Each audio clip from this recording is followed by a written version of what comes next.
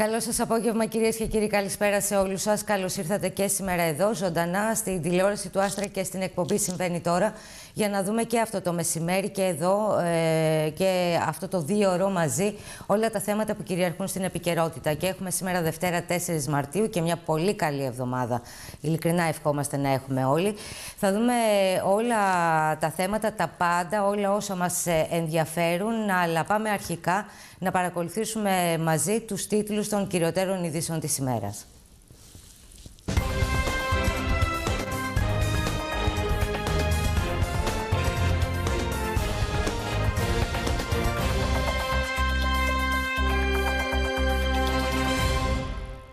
Τη Δευτέρα, 11 Μαρτίου, στο Μέγαρο Μαξίμου, θα πραγματοποιηθεί η συνάντηση του Πρωθυπουργού με αγρότες και θεσμικούς φορείς για θέματα της Θεσσαλίας. Όπως είπε ο κυβερνητικός εκπρόσωπος Παύλος Μαρινάκης, και στη συνέχεια ο Πρωθυπουργός θα πάει στη Θεσσαλονίκη για το συνέδριο της Νέας Δημοκρατίας. Παρατείνεται για 6 πλέον μήνες η αναστολή των πράξεων αναγκαστικής εκτέλεσης επί της κινητής ακίνητης περιουσίας για φυσικά πρόσωπα και επιχειρήσεις που επλήγησαν από τις χειρές βροχοπτώσει, πλημμύρες και κατολιστή του Σεπτεμβρίου του 2023 στην περιφέρεια Θεσσαλίας. Με απόφαση του Υπουργείου Εθνικής Οικονομίας και Οικονομικών στη Χατζηδάκη, συνεχίζεται έως την 4η Σεπτεμβρίου του 2024 η αναστολή διενέργειας πληστηριασμών, κατασχέσεων, αποβολών και προσωπικών κρατήσεων, καθώς και των προθεσμιών άσκησης ενδίκων μέσων και βοηθημάτων που αφορούν σε εκκρεμείς διαδικασίες αναγκαστικής εκτέλεσης επί της κινητής ή ακίνητης περιουσίας φυσικών και νομικών προσώπων, εξαιρουμένων των απαιτήσεων για διατροφή που όριζε η προηγούμενη απόφαση. Σημειώνεται ότι πρώτης τροποποίησης της απόφασης η αναστολή ισχύει και την 4η Μαρτίου του 2024. Δικαιούχοι της αναστολής είναι επιχειρήσεις που πιστοποιούνται ως πληγήσεις από βεβαίωση της περιφέρειας Θεσσαλίας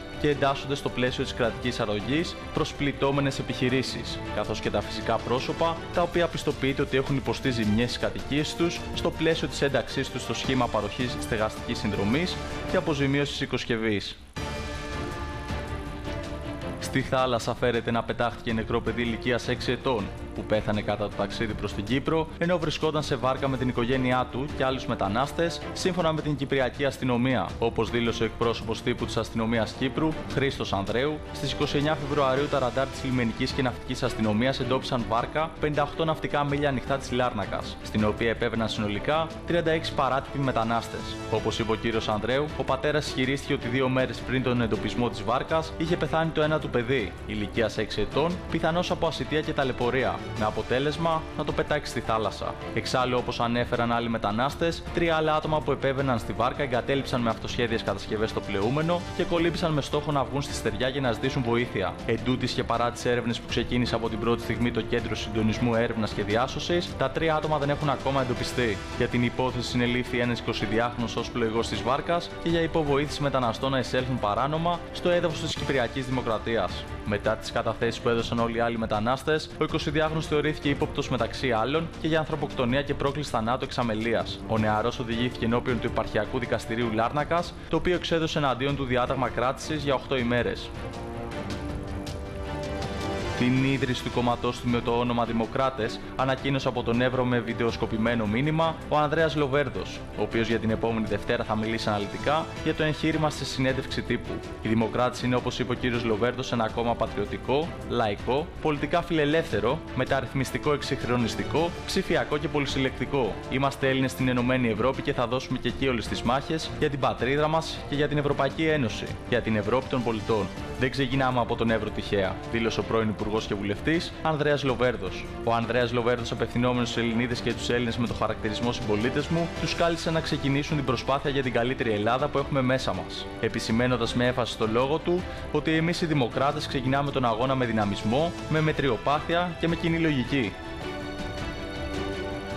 Σε μια αναπάντηχη παραδοχή προχώρησε ο Ευρωβουλευτής του ΣΥΡΖΑ, Κώστας Αρβανίτης, που αποκάλυψε ότι ο ίδιος όχι μόνο υπερψήφισε το ψήφισμα του Ευρωπαϊκού Κοινοβουλίου για το κράτος δικαίου στην Ελλάδα, αλλά ότι συνέβαλε στη συγγραφή του άρθρου που προβλέπει αναστολή κονδυλίων αν η χώρα δεν συμμορφωθεί με το περιεχόμενό του. Φώναζαν στην κυβέρνηση ότι είμαστε ανθέληνε και πως είναι δυνατόν να το κάνουμε και το ψηφίσαμε. Τους ενημερώνω ότι το συγγράψαμε κιόλας, είπε στο Open. Μάλιστα, όταν ρωτήθηκε, διευκρίνησε ότι έγραψε το τελευταίο άρθρο, ενώ διαχώρισε τη θέση του λέγοντας ότι ο ίδιος προσωπικά μετήχε στη στη διαδικασία, όχι ευρωβουλευτές. Ω ευρωβουλευτής, εγώ το έγραψα, αναφέρει ο κύριος Αρβανίτης. Ο κύριος Αρβανίτης διευκρίνησε μάλιστα και το περιεχόμενο του άρθρου που συνέδραμε. Στο άρθρο 27 που συνέβαλε ουσιαστικά λέει ότι η κυβέρνηση πρέπει να αξιοποιήσει πλήρως τα εργαλεία και θα πρέπει η Ελλάδα να συμμορφωθεί με αυτό. Αλλιώς θα κοπούν τα κονδύλια της Ευρωπαϊκής Ένωσης. Επίσης, τόνισε ότι το άρθρο δεν λέει αυτό που λέτε εσείς και ότι ο ΣΥΡΙΖΑ και το Ευρωπαϊκό Κοινοβούλιο δεν ψήφισε υπέρ του να κοπούν τα κονδύλια.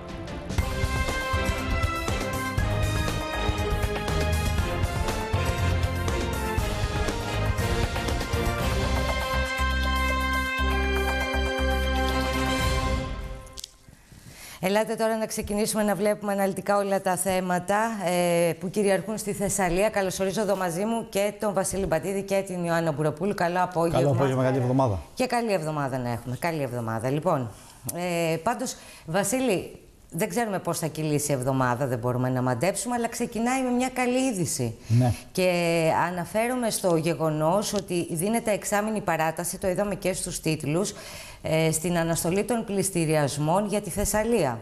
Γιατί έλυγε σήμερα κανονικά τέσσερις, ε, ήταν σε ισχύ αυτή η απόφαση, δηλαδή κανένας να μην μπορεί να κουμπίσει ακίνητα και να, τα, να προχωρήσει στις διαδικασίες των πληστηριασμών έλυγε σήμερα. Αλλά υπήρχε μεγάλη πίεση από παντού γιατί δεν έχουν επιστρέψει και τα πάντα στη θέση τους μετά τις ε, καταστροφές. Κατά συνέπεια αυτή η εξάμεινη παράταση έρχεται ε, πραγματικά να δώσει μια ανάσα. Σαφέστατα. Να σημειώσουμε λοιπόν ότι παρατείνεται όπως ακριβώς ε, το είπες για 6 επιπλέον μήνες η αναστολή των πράξεων αναγκαστικής εκτέλεσης επί της κινητής ή ακίνητης περιουσίας για φυσικά πρόσωπα και επιχειρήσεις που επλήγησαν από τα καταστροφικά φαινόμενα του Σεπτεμβρίου και τις πλημμύρες και τις καταβληστήσεις με απόφαση του Υπουργού Οικονομικών του κυρίου Χατζηδάκη. Ναι. Με την απόφαση αυτή συνεχίζεται έως την 4η Σεπτεμβρίου του 2024 Όπως παρακολουθήσαμε, θα δούμε πιο αναλυτικά και το ρεπορτάζ για αναστολή της διενέργειας πληστηριασμών κατασχέσεων αποβολών και προσωπικών κρατήσεων και σαφέστατα αποτελεί, θα λέγαμε, ανακούφιση για αρκετούς εκ των συμπολιτών που δέχτηκαν πλήγμα από τα φαινόμενα του Σεπτεμβρίου. Δεν θα υπάρχει τουλάχιστον αυτός ο εφιάλτης. Δεν θα υπάρχει αυτός ο βραχνάς, θα μπορούσαμε να πούμε σε έναν βαθμό τουλάχιστον. την περιουσία του για οφειλές. Και οι οφειλές είναι ε, και πολλές και για πολλούς είναι και προς πολλά μέτωπα μετά ναι. τα όσα έχουν συμβεί και προσπαθούν να ορθοποδήσουν. Άρα, τουλάχιστον μέχρι το Σεπτέμβριο απομακρύνεται αυτό πάνω από το κεφάλι τους. Δεν θα ναι. τους απασχολεί τουλάχιστον αυτό. Και σύμφωνα με το όσο γνωστοποιεί το αρμόδιο Υπουργείο, αφορά όλη τη Θεσσαλία, δηλαδή αναλυτικά ναι. Καρδίτσα, Τρίκαλα, Μαγνησία, mm όλες τις περιοχές της Θεσσαλίας, όχι μόνο την περιοχή της Μαγνησίας. Οπότε, ακριβώς τουλάχιστον μέσα σε αυτή τη δύσκολη συγκυρία, έρχεται μια θετική εξέλιξη τουλάχιστον σε έναν βαθμό για τον κόσμο που δέχθηκε το πλήγμα των φαινομένων. Πάμε να δούμε το ρεπορτάζ. Ε, έχει περισσότερα. Παρατείνεται για έξι επιπλέον μήνες η αναστολή των πράξεων αναγκαστικής εκτέλεσης επί της κινητής ή ακίνητης περιουσίας για φυσικά πρόσωπα και επιχειρήσεις που επλήγησαν από τις ισχυρές βροχοπτώσεις, πλημμύρε και κατολιστήσεις του Σεπτεμβρίου 2023 στην περιφέρεια Θεσσαλίας με απόφαση του Υπουργού Εθνικής Οικονομίας και Οικονομικών Κωστή Χατζηδάκη. Με την απόφαση αυτή συνεχίζεται έως την 4η Σεπτεμβρίου 2024 η αναστολή της διενέργειας πληστηριασμών, κατασχέσεων, αποβολών και προσωπικών κρατήσεων, καθώς και των προθεσμίων άσκησης ενδίκων μέσων και βοηθημάτων, που αφορούν σε εκρεμείς διαδικασίες αναγκαστικής εκτέλεσης επί της κινητής ή ακίνητης περιουσίας φυσικών και νομικών προσώπων, εξαιρουμένων των απαιτήσεων για διατροφή που όριζε προηγούμενη απόφαση. Σημειώνεται ότι της πρώτης τροποποίησης της απόφασης η αναστολή ίσχυε έως και την 4η Μαρτίου του 2024. Δικαιούχοι της αναστολής είναι επιχειρήσεις που πιστοποιούνται ως πληγήσεις από βεβαίωση της περιφέρειας Θεσσαλίας και εντάσσονται στο πλαίσιο της κρατικής αρρωγής προ πληττόμενε επιχειρήσεις, καθώς και τα φυσικά πρόσωπα τα οποία πιστοποιείται ότι έχουν υποστεί ζημίες στις κατοικίες τους, στο πλαίσιο της ένταξής τους στο σχήμα παροχής στεγαστικής συνδρομής και αποζημίωσης οικοσκευή. Ειδικότερα, η παράταση αφορά σε επιχειρήσεις και φυσικά πρόσωπα που επλήγησαν από τις ισχυρές βροχοπτώσεις, πλημμύρες και κατολιστήσεις σε όλη τη Θεσσαλία. Και πιο ειδικά για τις περιοχές που κηρύχθηκαν σε κατάσταση έκτακτη ανάγκης πολιτικής προστασίας εξαιτίας πλημμυρικών φαινομένων. Μάλιστα, αυτά είναι στα θετικά νέα της ε, ημέρας, αυτή η πρόσθετη ανάσα που δίνεται για τους ε, πλημμυροπαθείς. Πάμε όμως, Ιωάννα, να δούμε τι γίνεται με τους ε, σεισμοπαθείς, γιατί τρία χρόνια μετά το μεγάλο σεισμό, συμπληρώθηκαν χθες, ήταν 3 Μαρτίου του 2021. Εκείνο το σεισμό που άφησε δεκάδες οικογένειες στο δρόμο εξαιτίας των καταστροφών. Τρία χρόνια λοιπόν μετά και ακόμη οι περισσότεροι στην πλειοψηφία τους δεν έχουν επιστρέψει στις κατοικίες τους, δεν έχουν λάβει όπως λένε τα χρήματα για να προχωρήσει η αποκατάσταση. Τα λέγαμε εδώ και την περασμένη εβδομάδα με εκπρόσωπο των ε, κατοίκων. Κατά συνέπεια οδηγήθηκαν σε ένα συλλαλητήριο το οποίο είχε και μεγάλη συμμετοχή το περασμένο Σάββατο. Ακριβώς και όπως λένε, έχουν φτάσει στο αμήν. Είδανε τώρα και τις πρόσφατες πλημμύρες του Σεπτεμβρίου που έβγαλαν ε, και πάλι δεκάδες οικογένειες στο δρόμο και λένε ότι και εμάς τότε μας ε, ακουμπούσαν την πλάτη, μας έπιασαν την πλάτη και μας έλεγαν ότι σύντομα θα αποκατασταθούν τα προβλήματα. Και τρία χρόνια τώρα ε, που συμπληρώνονται, υπάρχουν πάρα πολλές οικογένειες που μένουν ακόμη σε κοντέινερ, δεν έχουν λάβει ε, τα χρήματα για να κατασκευάσουν τις ε, κατοικίες τους. Έτσι λοιπόν το Σάββατο πραγματοποιήθηκε ένα ε, πραγματικά πολύ μεγάλο συλλαλητήριο στην κεντρική πλατεία ε, του Τυρνάβου από κατοίκους της ευρύτερης περιοχής και του Δαμασίου αλλά και άλλων χωριών που επλήγησαν σημαντικά από τον σεισμό που σημειώθηκε πριν από τρία χρόνια, φωνάζοντας ε, να λάβουν τις αποζημιώσεις, να πάρει πολιτεία μέτρα υπέρ τους και φυσικά να πιέσουν τόσο τους κατατόπους Δήμους όσο και την περιφέρεια να κινήσει και εκείνη τις αντίστοιχες διαδικασίες. Πάντως, ενώ και εδώ μιλάμε τώρα για σεισμοπαθείς, μιλάμε για οικογένειες που ζουν σε κοντέινερ, όπως λένε αυτό το προσωρινό έχει συμπληρώσει τρία χρόνια, ε, το τέρας της γραφειοκρατίας, ακόμη και σε αυτές τις περιπτώσεις που πρέπει άμεσα να προχωρήσουν κάποια ζητήματα, είναι εδώ. Είναι ε, πάνω από αυτή όλη τη διαδικασία της αυτοψίας, της συμπλήρωσης φακέλων, το να δοθούν όλες οι εγκρίσεις. Αυτό μας περιγράφουν. Η γραφειοκρατία υπάρχει και εδώ και σε αυτές τις περιπτώσεις που έχει να κάνει με οικογένειες και την αποκατάστασή τους. Πράγματι, και όπως ε, έλεγε και ο εκπρόσωπος την περασμένη εβδομάδα εδώ από την ε, εκπομπή, ε, είναι πάρα πολύ λίγες οι οικογένειες, ελάχιστες κάτω από 10 και όλα συγκεκριμένα, που έχουν μπει στα σπίτια τους μετά τον σεισμό και πρέπει να προχωρήσουν οι διαδικασίες για να μπουν και οι υπόλοιπες. Να πούμε ότι το συλλαλητήριο είχε τη στήριξη του Δήμου Τυρνάβου, το οποίο έγινε εκεί πέρα, ενώ το παρόν έδωσαν και βουλευτές από την περιοχή της Λάρισας. Πάμε να δούμε και αυτό το θέμα. Στους δρόμους βγήκαν το μεσημέρι του Σαββάτου στον Τύρναβο οι σεισμοπαθεί της περιοχής σε ένα συλλαλητήριο που διοργάνωσε ο Δήμος Τυρνάβου στην κεντρική πλατεία της πόλης. Ο Δήμαρχος Τέλειο Τσικριτσής τόνισε ότι οι σεισμοπαθείς ακόμη μένουν στα κοντέινερ και χρειάζονται υποστήριξη τρία χρόνια μετά το σεισμό. Αύριο κλείνονται τρία χρόνια από το σεισμό. Από το σεισμό που έπληξε το νομό Λάρισας και άφησε άφησε πραγματικά τα αποτυπώματά του, τα αρνητικά αποτυπώματά του στο Δήμο Τυρνάβου κυρίως στα χωριά των δέντρων, των πλατανολίων, αλλά το μεγαλύτερο πρόβλημα στο χωριό του Δαμασίου, όπου περίπου 60 οικογένειες, 120 άνθρωποι μένουν μέχρι και σήμερα, τρία χρόνια μετά, μέσα σε, άθ... μέσα σε άθλιες συνθήκες, μένουν σε κοντέινερ. Πράγμα το οποίο, το οποίο το θεωρούμε ανεπίτρεπτο μαζί με αυτούς σήμερα, αλλά και με τα χωριά του Δήμου Ελασσόνας, παλεύουμε ώστε οι σεισμόπληκτοι να πάρουν τη χαμένη τους ζωή πίσω. Διότι αυτό που ζουν σήμερα δεν τους αρμόζει. Και μαζί τους θα παλέψουμε ως το τέλος ώστε να υπάρξει ουσιαστική βοήθεια και κρατική ενίσχυση σε αυτούς τους ανθρώπους. Στο πλευρό των σεισμοπαθών στάθηκαν οι βουλευτές Λάρισας, Ευαγγελία Λιακούλη, του Πασόκ Κινήματος Αλλαγής και του Κομμουνιστικού Κόμματος Ελλάδος Γιώργος Λαμπρούλης. Έχουν αφήσει περίπου 100 οικογένειες στο δρόμο και μέσα στα κοντέινερς. Ανάμεσα σε αυτούς άνθρωποι που ανήκουν σε, έχουν αναπηρία, ανήκουν στα ΑΜΕΑ, ανήλικα παιδιά, υπερήλικες άνθρωποι, άρρωστοι άνθρωποι, τους επισκεπτόμαστε κάθε τόσο και δεν έχουμε να πούμε απολύτως τίποτα για όλα αυτά που συμβαίνουν. Εδώ και τρία χρόνια αυτός ο κόσμος είναι ξεχασμένος από το κράτος.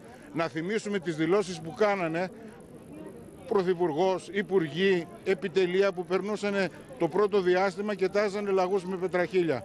Αυτή τη στιγμή λοιπόν βρισκόμαστε τρία χρόνια και μπαίνουμε στον τέταρτο χρόνο. Οι κάτοικοι βρίσκονται ακόμα στα κοντέινερ. Τα σπίτια τους δεν έχουν ξεκινήσει να τα αποκαταστήσουν. Εκκρεμούν οι αιτήσεις τους στο Υπουργείο για έγκριση προκειμένου να, να δανειοδοτηθούν και να ε, μπορέσουν να ξεκινήσουν τις όποιες εργασίες είτε ανακαίνησης είτε εκ νέου ε, ανοικοδόμησης των νέων σπιτιών και φυσικά είναι ακόμα ένα τεράστιο πρόβλημα που έχει προσθεθεί στα τεράστια προβλήματα της περιοχής που έχουν να κάνουν με την αγροτική παραγωγή, το εισόδημα των κατοίκων και του Δαμασίου συγκεκριμένα και από εκεί και πέρα είναι όλα τα άλλα ζητήματα που αποσχολούν φυσικά όλη την ελληνική κοινωνία ή την πλειοψηφία, αν θέλετε, των αγροτών, των εργαζομένων. Νωρίς το μεσημέρι του Σαββάτου, στην πλατεία του Τυρνάβου, πραγματοποιήθηκε το συλλαλητήριο διαμαρτυρίας, όπου οι κάτοικοι φώναξαν, ψάχνοντας λύσεις για να καταφέρουν να μπουν στα σπίτια τους και να φύγουν επιτέλους από τα κοντέινερ. Μάλιστα. Απαντήσεις και μάλιστα άμεσα να ζητούν έτσι κάτι και στο, στο Δαμάσι. Είδαμε και τη συμμετοχή στο συλλαλητήριό τους.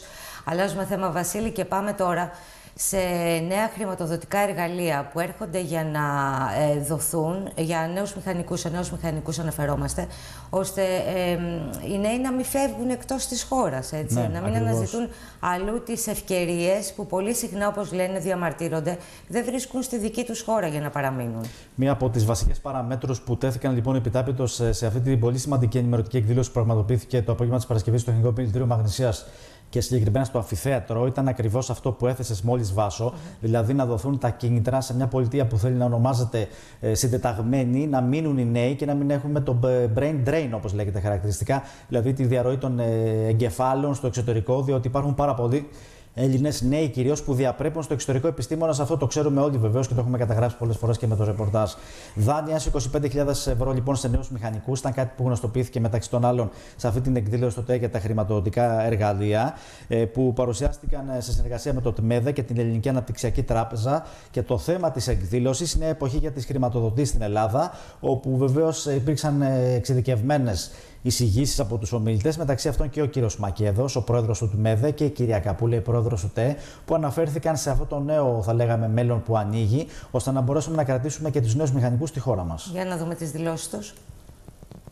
Με επιτυχία πραγματοποιήθηκε η ενημερωτική εκδήλωση το απόγευμα της Παρασκευής από το ΤΕ Μαγνησίας στο ΤΜΕΔΕ και την Ελληνική Αναπτυξιακή Τράπεζα στο αμφιθέατρο του Τεχνικού Επιμελητηρίου Μαγνησίας στο Βόλο. Θέμα νέα εποχή για τις χρηματοδοτήσεις στην Ελλάδα. Στο πλαίσιο της εκδήλωσης έγινε η παρουσίαση του χρηματοδοτικού εργαλείου ΕΑΤΑΦ, ΤΜΕΔΕ και υπολοίπων προγραμμάτων χρηματοδότησης που διατίθεται σήμερα από την Ελληνική Αναπτυξιακή Τράπεζα. Αλεξάνδρα Κάρλε, ανώτερο στέλεχος Διεύθυνσης Δανείων και Κρατικών Ενισχύσεων Ελληνική Αναπτυξιακή Τράπεζα. Ο CEO ΤΜΕΔΕ Microfinance Solutions, Χαράλαμπος Αγκυρόπουλος, παρουσίασε το εργαλείο μικροχρηματοδότησης έκδοση νέου δανείου. Εκπρόσωποι εργών και φορέων ήταν εκεί και παρακολούθησαν την ενημερωτική εκδήλωση. Τόσο η Αναπτυξιακή Τράπεζα όσο και το Ταμείο των Μηχανικών προσπαθεί αυτό το διάστημα και δίνει τη- τη- την καλύτερο, τον καλύτερο του εαυτό προκειμένου να δώσει αυτά τα νέα σύγχρονα εργαλεία. Όχι, συνεχίστε. ναι. Πρέπει να τα μάθουμε, πρέπει να τα γνωρίσουμε, είναι ευέλικτα, είναι ε, πολύ πιο ανταγωνιστικά από ό,τι ε, θα φανταζόταν κανείς. Να σας δώσω ένα παράδειγμα ότι μόνο οι εγγυητικές επιστολές καλής εκτέλεσης που δώσαμε το 2023 ξεπεράσαν σε κεφάλαια τα 150 εκατομμύρια ευρώ, ενώ η ρευστότητα που δώσαμε στα μέλη μας ήταν πάνω από 43 εκατομμύρια. 35 από το ταμείο το κοινό μας με την ΕΑΤ την Ελληνική Αναπτυξιακή Τράπεζα και 4,5 εκατομμύρια μαζί με το, μέσα από το νέο μας φορέα που θα παρουσιάσουμε κιόλας σήμερα, την TMEDE Microfinance, την πρώτη εταιρεία θεσμικού φορέα χρημα- που, αγε- που αδειοδοτήθηκε από την Τράπεζα της Ελλάδος.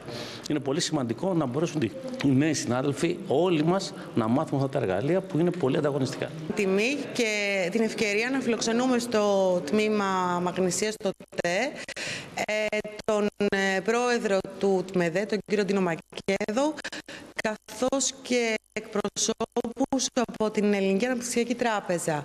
Ε, έχουν έρθει ε, εδώ στη Μαγνησία για να παρουσιάσουν ε, τον τρόπο που μπορούμε αναπτυξιακά να λειτουργήσουμε σε συνεργασία με το Ταμείο Εγκυοδοσίας και την Ελληνική Αναπτυξιακή Τράπεζα, καθώς μπορούν να χρηματοδοτήσουν ε, με πολύ ευνοϊκούς όρους επενδυτικά σχέδια και επαγγελματίες, κυρίως ε, μηχανικούς, τους συναδέλφους μας.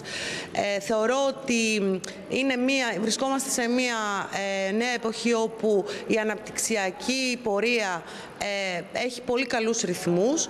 Βεβαίως όμως μην ξεχνάμε ότι οι επενδύσεις και η ανάπτυξη και όλοι αυτοί που τη χρηματοδοτούν εννοείται ότι πρέπει να έχουν ε, συμπαραστάτες, ε, χρηματοδοτικά εργαλεία Το Ταμείο Μηχανικών Εργοληπτών Δημοσίων Έργων, το ΤΜΕΔΕ, επί των ημερών της ηγεσίας του Κώστα Μακέδου ανοίγει νέους ορίζοντες, εξυγχρονίζεται και προσπαθεί να συμβάλλει στην ανάπτυξη του κλάδου των κατασκευών. Η χρηματοδότηση πάντα ήταν ένα πρόβλημα στην Ελλάδα και με τις ιδιαιτερότητες του τραπεζικού συστήματος τέτοιες πρωτοβουλίες σαν και αυτή που αναλαμβάνει το Ταμείο είναι πραγματικά επικουρικές και στέκονται αρρωγοί στην προσπάθεια των μηχανικών μας. Είναι ένα εξαιρετικό εργαλείο όχι μόνο για τις μικρομεσαίες κατασκευαστικές εταιρείες αλλά και για τους νέους επιστήμονες, κυρίως μηχανικούς και μελετητές οι οποίοι μπορεί να πάρουν δάνεια μέχρι 25.000 ευρώ με πολύ αυτόματες διαδικασίες εντός δύο ημερών. Επισημάνθηκε ακόμη ότι χρηματοδοτικά εργαλεία όπως αυτά τα οποία παρουσιάστηκαν και εξασφαλίζονται για τους νέους μηχανικούς δίνουν τη δυνατότητα οι νέοι να μένουν στην Ελλάδα και να μην φεύγουν στο εξωτερικό. Με δεδομένο το πρόβλημα που υπάρχει τα τελευταία χρόνια με το brain drain στην Ελλάδα. Τώρα, Ιωάννα, σε κλίμα συγκίνησης, μεγάλη συγκίνησης, πραγματοποιήθηκε χθες ο πρώτος ε, δρόμος μνήμης για τα 57 ε, άτομα τους 57 συνανθρώπους μας που έχασαν τη ζωή τους στην τραγωδία των Τεμπών. Ακριβώς ένας αγώνας δρόμου που διοργανώθηκε από διάφορους αθλητές από την περιοχή της Φαλάνης κατόπιν ετήματος και άδειας από τους ε, συγγενείς ε, των επιβενόντων στην ε, αμαξοστοιχεία η οποία συγκρούστηκε πέρυσι τέτοιες περίπου μέρες που το βλέπαμε και την προηγούμενη εβδομάδα. Mm Πραγματοποιήθηκε λοιπόν ο πρώτος ε, δρόμος μνήμης γιατί όπως ε, ανέφεραν δεν πρόκειται για αγώνα, πρόκειται για ένα δρόμο, για μια διαδρομή όπου στα τελευταία 700 μέτρα περίπου, όλοι οι άνθρωποι που βρέθηκαν εκεί, είτε έτρεξαν είτε περπάτησαν, μπήκαν μέσα στη διαδρομή και περπάτησαν μαζί προς τη γραμμή τερματισμού. Εκεί πέρα υπήρχαν πάρα πολλοί συγγενείς, οι οποίοι έτρεξαν να αγκαλιάσουν τους ε, διαγωνιζόμενους και να αποτίσουν φόρο τιμής σε εκείνους τους 57 ανθρώπους που έχασαν τη ζωή τους ε, πέρυσι, ζητώντας για ακόμη μία φορά δικαιοσύνη, να, να απονεμηθεί δικαιοσύνη στη μνήμη αυτών των ανθρώπων. Πραγματικά πολύ συγκινητικές αυτές οι εικόνες, μόνο από την ε, περιγραφή τους. Πάμε να τις δούμε. Ανατριχιαστικέ στιγμές στο σημείο 0 στα Τέμπη σημειώθηκαν όταν εκατοντάδες δρομείς μετά τον πρώτο αγώνα μνήμης συναντήθηκαν και αγκαλιάστηκαν με συγγενείς των θυμάτων και έστειλαν από κοινού το μήνυμα ότι δεν θα ξεχαστεί ούτε μία ούτε ένας από τους επιβαίνοντες. Μπορεί ο αγώνας να μην είχε ούτε νικητές ούτε βραβεία, ωστόσο είχε τη δύναμη να τιμήσει τη μνήμη των 57 ανθρώπων που το νήμα της ζωής τους κόπηκε βία και απότομα το βράδυ της 28η Φεβρουαρίου. Από το σημείο του τερματισμού, οι συγγενείς ύψωσαν τις φωνές τους και ανέφεραν χαρακτηριστικά ότι εμείς θα τερματίσουμε μόνο όταν και ο τελευταίος μπει στη φυλακή. Μόλις οι δρομείς κατέληξαν στον τόπο της τραγωδίας, οι συγγενείς αλλά και οι υπόλοιποι παρευρισκόμενοι ξέσπασαν σε κλάματα. Μάλιστα, τους πρόσφεραν συμβολικά και μια εικόνα της Αγίας Αναστασίας, στη μνήμη των αγαπημένων τους προσώπων. Ακολούθως και σε φορτισμένο κλίμα τελέστηκε το Τρισάγιο, στο εκκλησάκι το οποίο χτίστηκε πάνω από τον μπαζωμένο πια σημείο της τραγωδίας. Παράλληλα, οι συγγενείς περιμένουν την ανάκτηση του υλικού από τις κάμερες ασφαλείας από τον ΟΣΕ στη Θεσσαλονίκη, για να διαπιστωθεί τι ακριβώς μετέφερε η εμπορική αμαξοστοιχεία. Πάμε να συνεχίσουμε τώρα. Πάμε, Βασίλη, στο νοσοκομείο του Βόλου. Ε, εκεί σήμερα είχαμε σεισμό και φωτιά, αλλά δεν είχαμε σεισμό και φωτιά γιατί ήταν σενάριο της πυροσβεστικής. Ναι, ακριβώς ήταν μια άσκηση που στέφθηκε από απόλυτη. Δηλαδή το σενάριο προέβλεπε, προέβλεπε να προκληθεί σε σεισμό, να γίνει σεισμός και να εκδηλωθεί και φωτιά. Όλα μαζί να γίνουν. Είναι διπλό σενάριο θα μπορούσαμε να σημειώσουμε. Στέφθηκε από απόλυτη επιτυχία και στο παρελθόν έχουν συμβεί αντίστοιχες ασκήσεις, εντάσσοντας το πλαίσιο της προετοιμασίας, ειδικότερα με την ευθύνη του Κέντρου Επιχειρήσεων Υγείας. Και μάλιστα ο προϊστάμενος του Κέντρου Επιχειρήσεων Υγείας ήταν εκεί. Από κοινού λοιπόν δηλώσεις και με τον διοικητή του νοσοκομείου, τον κύριο Ντόκο, αλλά και υπευθύνους γιατρούς αλλά και εκπροσώπους της πυροσβεστικής. Πάρα πολύ ο κόσμος που έδωσε το παρόν και ενώθηκε το νοσοκομείο Βόλου λοιπόν λόγω σεισμού αλλά και φωτιάς, πιο ειδικά σύμφωνα με το σενάριο που εκδηλώθηκε στο Λεβιτοστάσιο. Να σημειώσουμε παράλληλα ότι επιστρατεύτηκε και ειδικό γερανοφόρο όχημα από την πυροσβεστική στο πλαίσιο της άσκησης να γίνει απομάκρυνση ατόμων με αυτό το ειδικό όχημα. Παράλληλα, είχαμε διασωλήνωση ασθενή στο εξωτερικό μήνυ νοσοκομείο που στήθηκε στην αυλή πολύ γρήγορα για να τεσταριστούν και οι χρόνια αντίδρασης ομιγέννητο αν υπάρξει ένα τέτοιο περιστατικό. Βέβαια, για νοσοκομείο μιλάμε. Ναι, και χρειάζεται ετοιμότητα του είδους και πρέπει να βρίσκεται σε επαγρύπνηση και το προσωπικό. Και στο πλαίσιο της άσκησης κρίθηκε αναγκαία και η εκένωση εκένωση της χειρουργικής κλινικής λόγω της πτώσης οβάδων, όπως μας είπαν χαρακτηριστικά στις δηλώσεις. Δηλαδή, προέβλεπε συγκεκριμένα επιμέρους σενάρια ώστε να τεσταριστεί, όπως είπαμε, η κινητοποίηση και των δυνάμεων που έφτασαν εκεί, δηλαδή και από το ΕΚΑΒ, αλλά η ετοιμότητα παράλληλα και από την πυροσβεστική. Μέσα σε χρόνους συγκεκριμένους λοιπόν να υπάρχει αντίδραση και παράλληλα και απομάκρυνση όπου χρειάζεται αυτό για να μην σημειωθούν, αν ε, όντως συμβεί κάτι τέτοιο στην πραγματικότητα, τραυματισμοί, κάτι πολύ πιο σοβαρό. Όχι, να μείνουν για πάντα, για πάντα όμως, να, να μείνουν σε επίπεδο σενάριου και άσκηση και στα σενάρια. Αυτά. Ωστόσο, οι πυροσβεστικές δυνάμεις πάντοτε μέσω, μέσω αυτών των ασκήσεων επιδεικνύουν την ετοιμότητα, τη μεγάλη ετοιμότητα που έχουν. Πάμε να δούμε το ρεπορτάζ.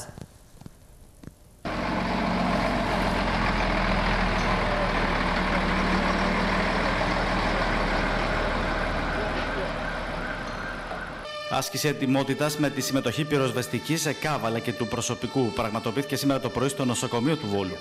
Το σενάριο της άσκησης περιέλαμβανε εκένωση της χειρουργικής κλινικής μετά από σεισμό στα ψαχνά Ευεία, ο οποίος έγινε ιδιαίτερα αισθητός και ταρακούνησε για την πόλη του Βόλου. Φωτιά παράλληλα στο λεβιτοστάσιο του Αχυλοπουλίου και διασωλήνωσε ασθενή στο εξωτερικό μήνυ νοσοκομείο που στήθηκε για το σκοπό αυτό στην εξωτερικό χώρο στην Αυλή. Στο μήνυ νοσοκομείο εισήχθησαν, σύμφωνα με το σενάριο της άσκησης, ένας βαριάς ασθενή και δύο νοσηλευτές που υπέστησαν εγκάβματα από την πυρκαγιά που ξέσπασε στο λεβιτοστάσιο. Η εκένωση της χειρουργικής κλινικής, σύμφωνα με το σενάριο, κρίθηκε αναγκαία λόγω και της πτώσης οβάδων, πάντα στο πλαίσιο της άσκησης.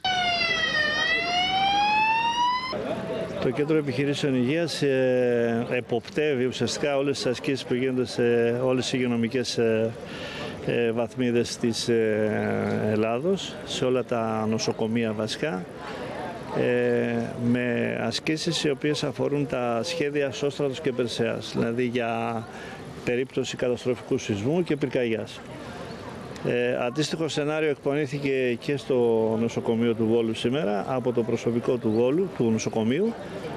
Ε, περιείχε και τα δύο, και σεισμό και πυρκαγιά. Εγώ θέλω να συγχαρώ όλο το προσωπικό της Λίβδιν, ιατρικό, νοσηλευτικό, διοικητικό, παραϊατρικό, που συμμετείχε με πολύ χαρά ε, στην όλη διαδικασία της άσκησης.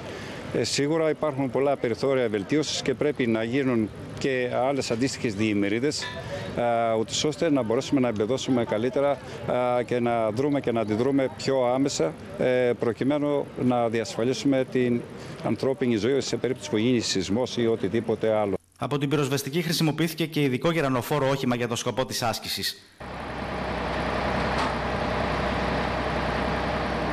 Η μας υπηρεσία σήμερα κλήθηκε να να επέμβεις σε δύο πυρκαγιές και τρεις διασώσεις. Αυτό κατέστη δυνατό να γίνει με ένα διασωστικό όχημα, μια, ένα κλιμακοφόρο, δύο υδροφόρα και ένα βοηθητικό. Ε, με το σύνολο των υπαλλήλων να είναι 13 ε, και χρησιμοποίησαμε και δύο-τρεις εθελοντές του Πυροσβεστικού Σώματος ως ε, θύματα. Ε, ο σκοπός είναι πάντα, ο κύριος σκοπός πάντα είναι η συνεργασία των φορέων, όπως είπαμε. Ε, υπάρχει φωτιά, εκδηλώνονται δύο μικρές αιστείε πυρκαγιάς στο παλαιό κτίριο, όπου από εκεί ε, δύο άτομα ε, έχουν φοβηθεί ουσιαστικά χωρίς να έχουν κάτι περισσότερο. Βγαίνουν στο μπαλκόνι όπως συμβαίνει πολλές φορές σε σκηνές πανικού και απεγκλωβίζονται από την πυροσβεστική που κατεβήκανε. Στο μήνυ νοσοκομείο θεράποντες ιατροί εξέτασαν τους τραυματίες και αποφάσισαν τη διακομιδή τους στη μονάδα τατική θεραπείας του Ευαγγελισμού.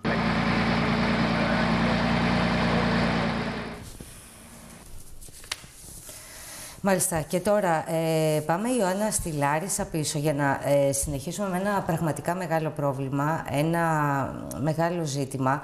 Όσο και αν ακούγεται μακάβριο, είναι κάτι που πραγματικά ε, απασχολεί τις ε, αρχές και αναφερόμαστε στις άσυπτες ορούς λόγω του κορονοϊού.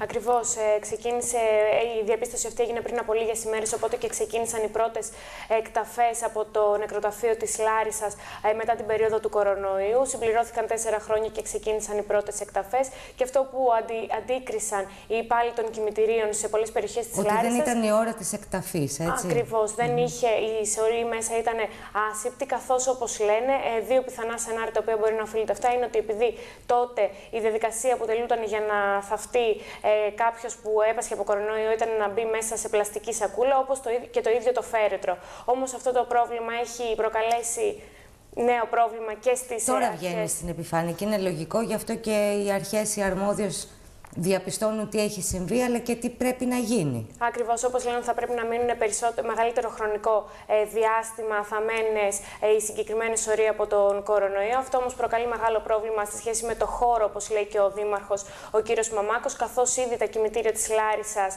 έχουν πάρα πολλούς ανθρώπους μέσα και περιμένουν τις αρμόδιες οδηγίες, τις οδηγίες από το αρμόδιο Υπουργείο, το Υπουργείο Υγείας για να δούνε πώς θα δούνε την όλη διαδικασία, τι θα πρέπει να γίνει, αν θα πρέπει να απομακρυνθούν, αν θα πρέπει να τους βγάλουν ακόμα και αν είναι Τι ακριβώς θα γίνει, έτσι. Σε κάθε περίπτωση είναι ένα ζήτημα τώρα που έρχεται μετά από τόσα χρόνια που βγαίνει στην επιφάνεια να απασχολήσει τις αρμόδιες αρχές, αλλά ε, πραγματικά έρχεται και να φέρει και σε μια ιδιαίτερη, δύσκολη, δυσάρεστη θέση, στενάχωρη και τις οικογένειες αυτών των, ε, των ανθρώπων. Έτσι, γιατί δεν χρειάζεται τώρα να περιγράφουμε πολλά.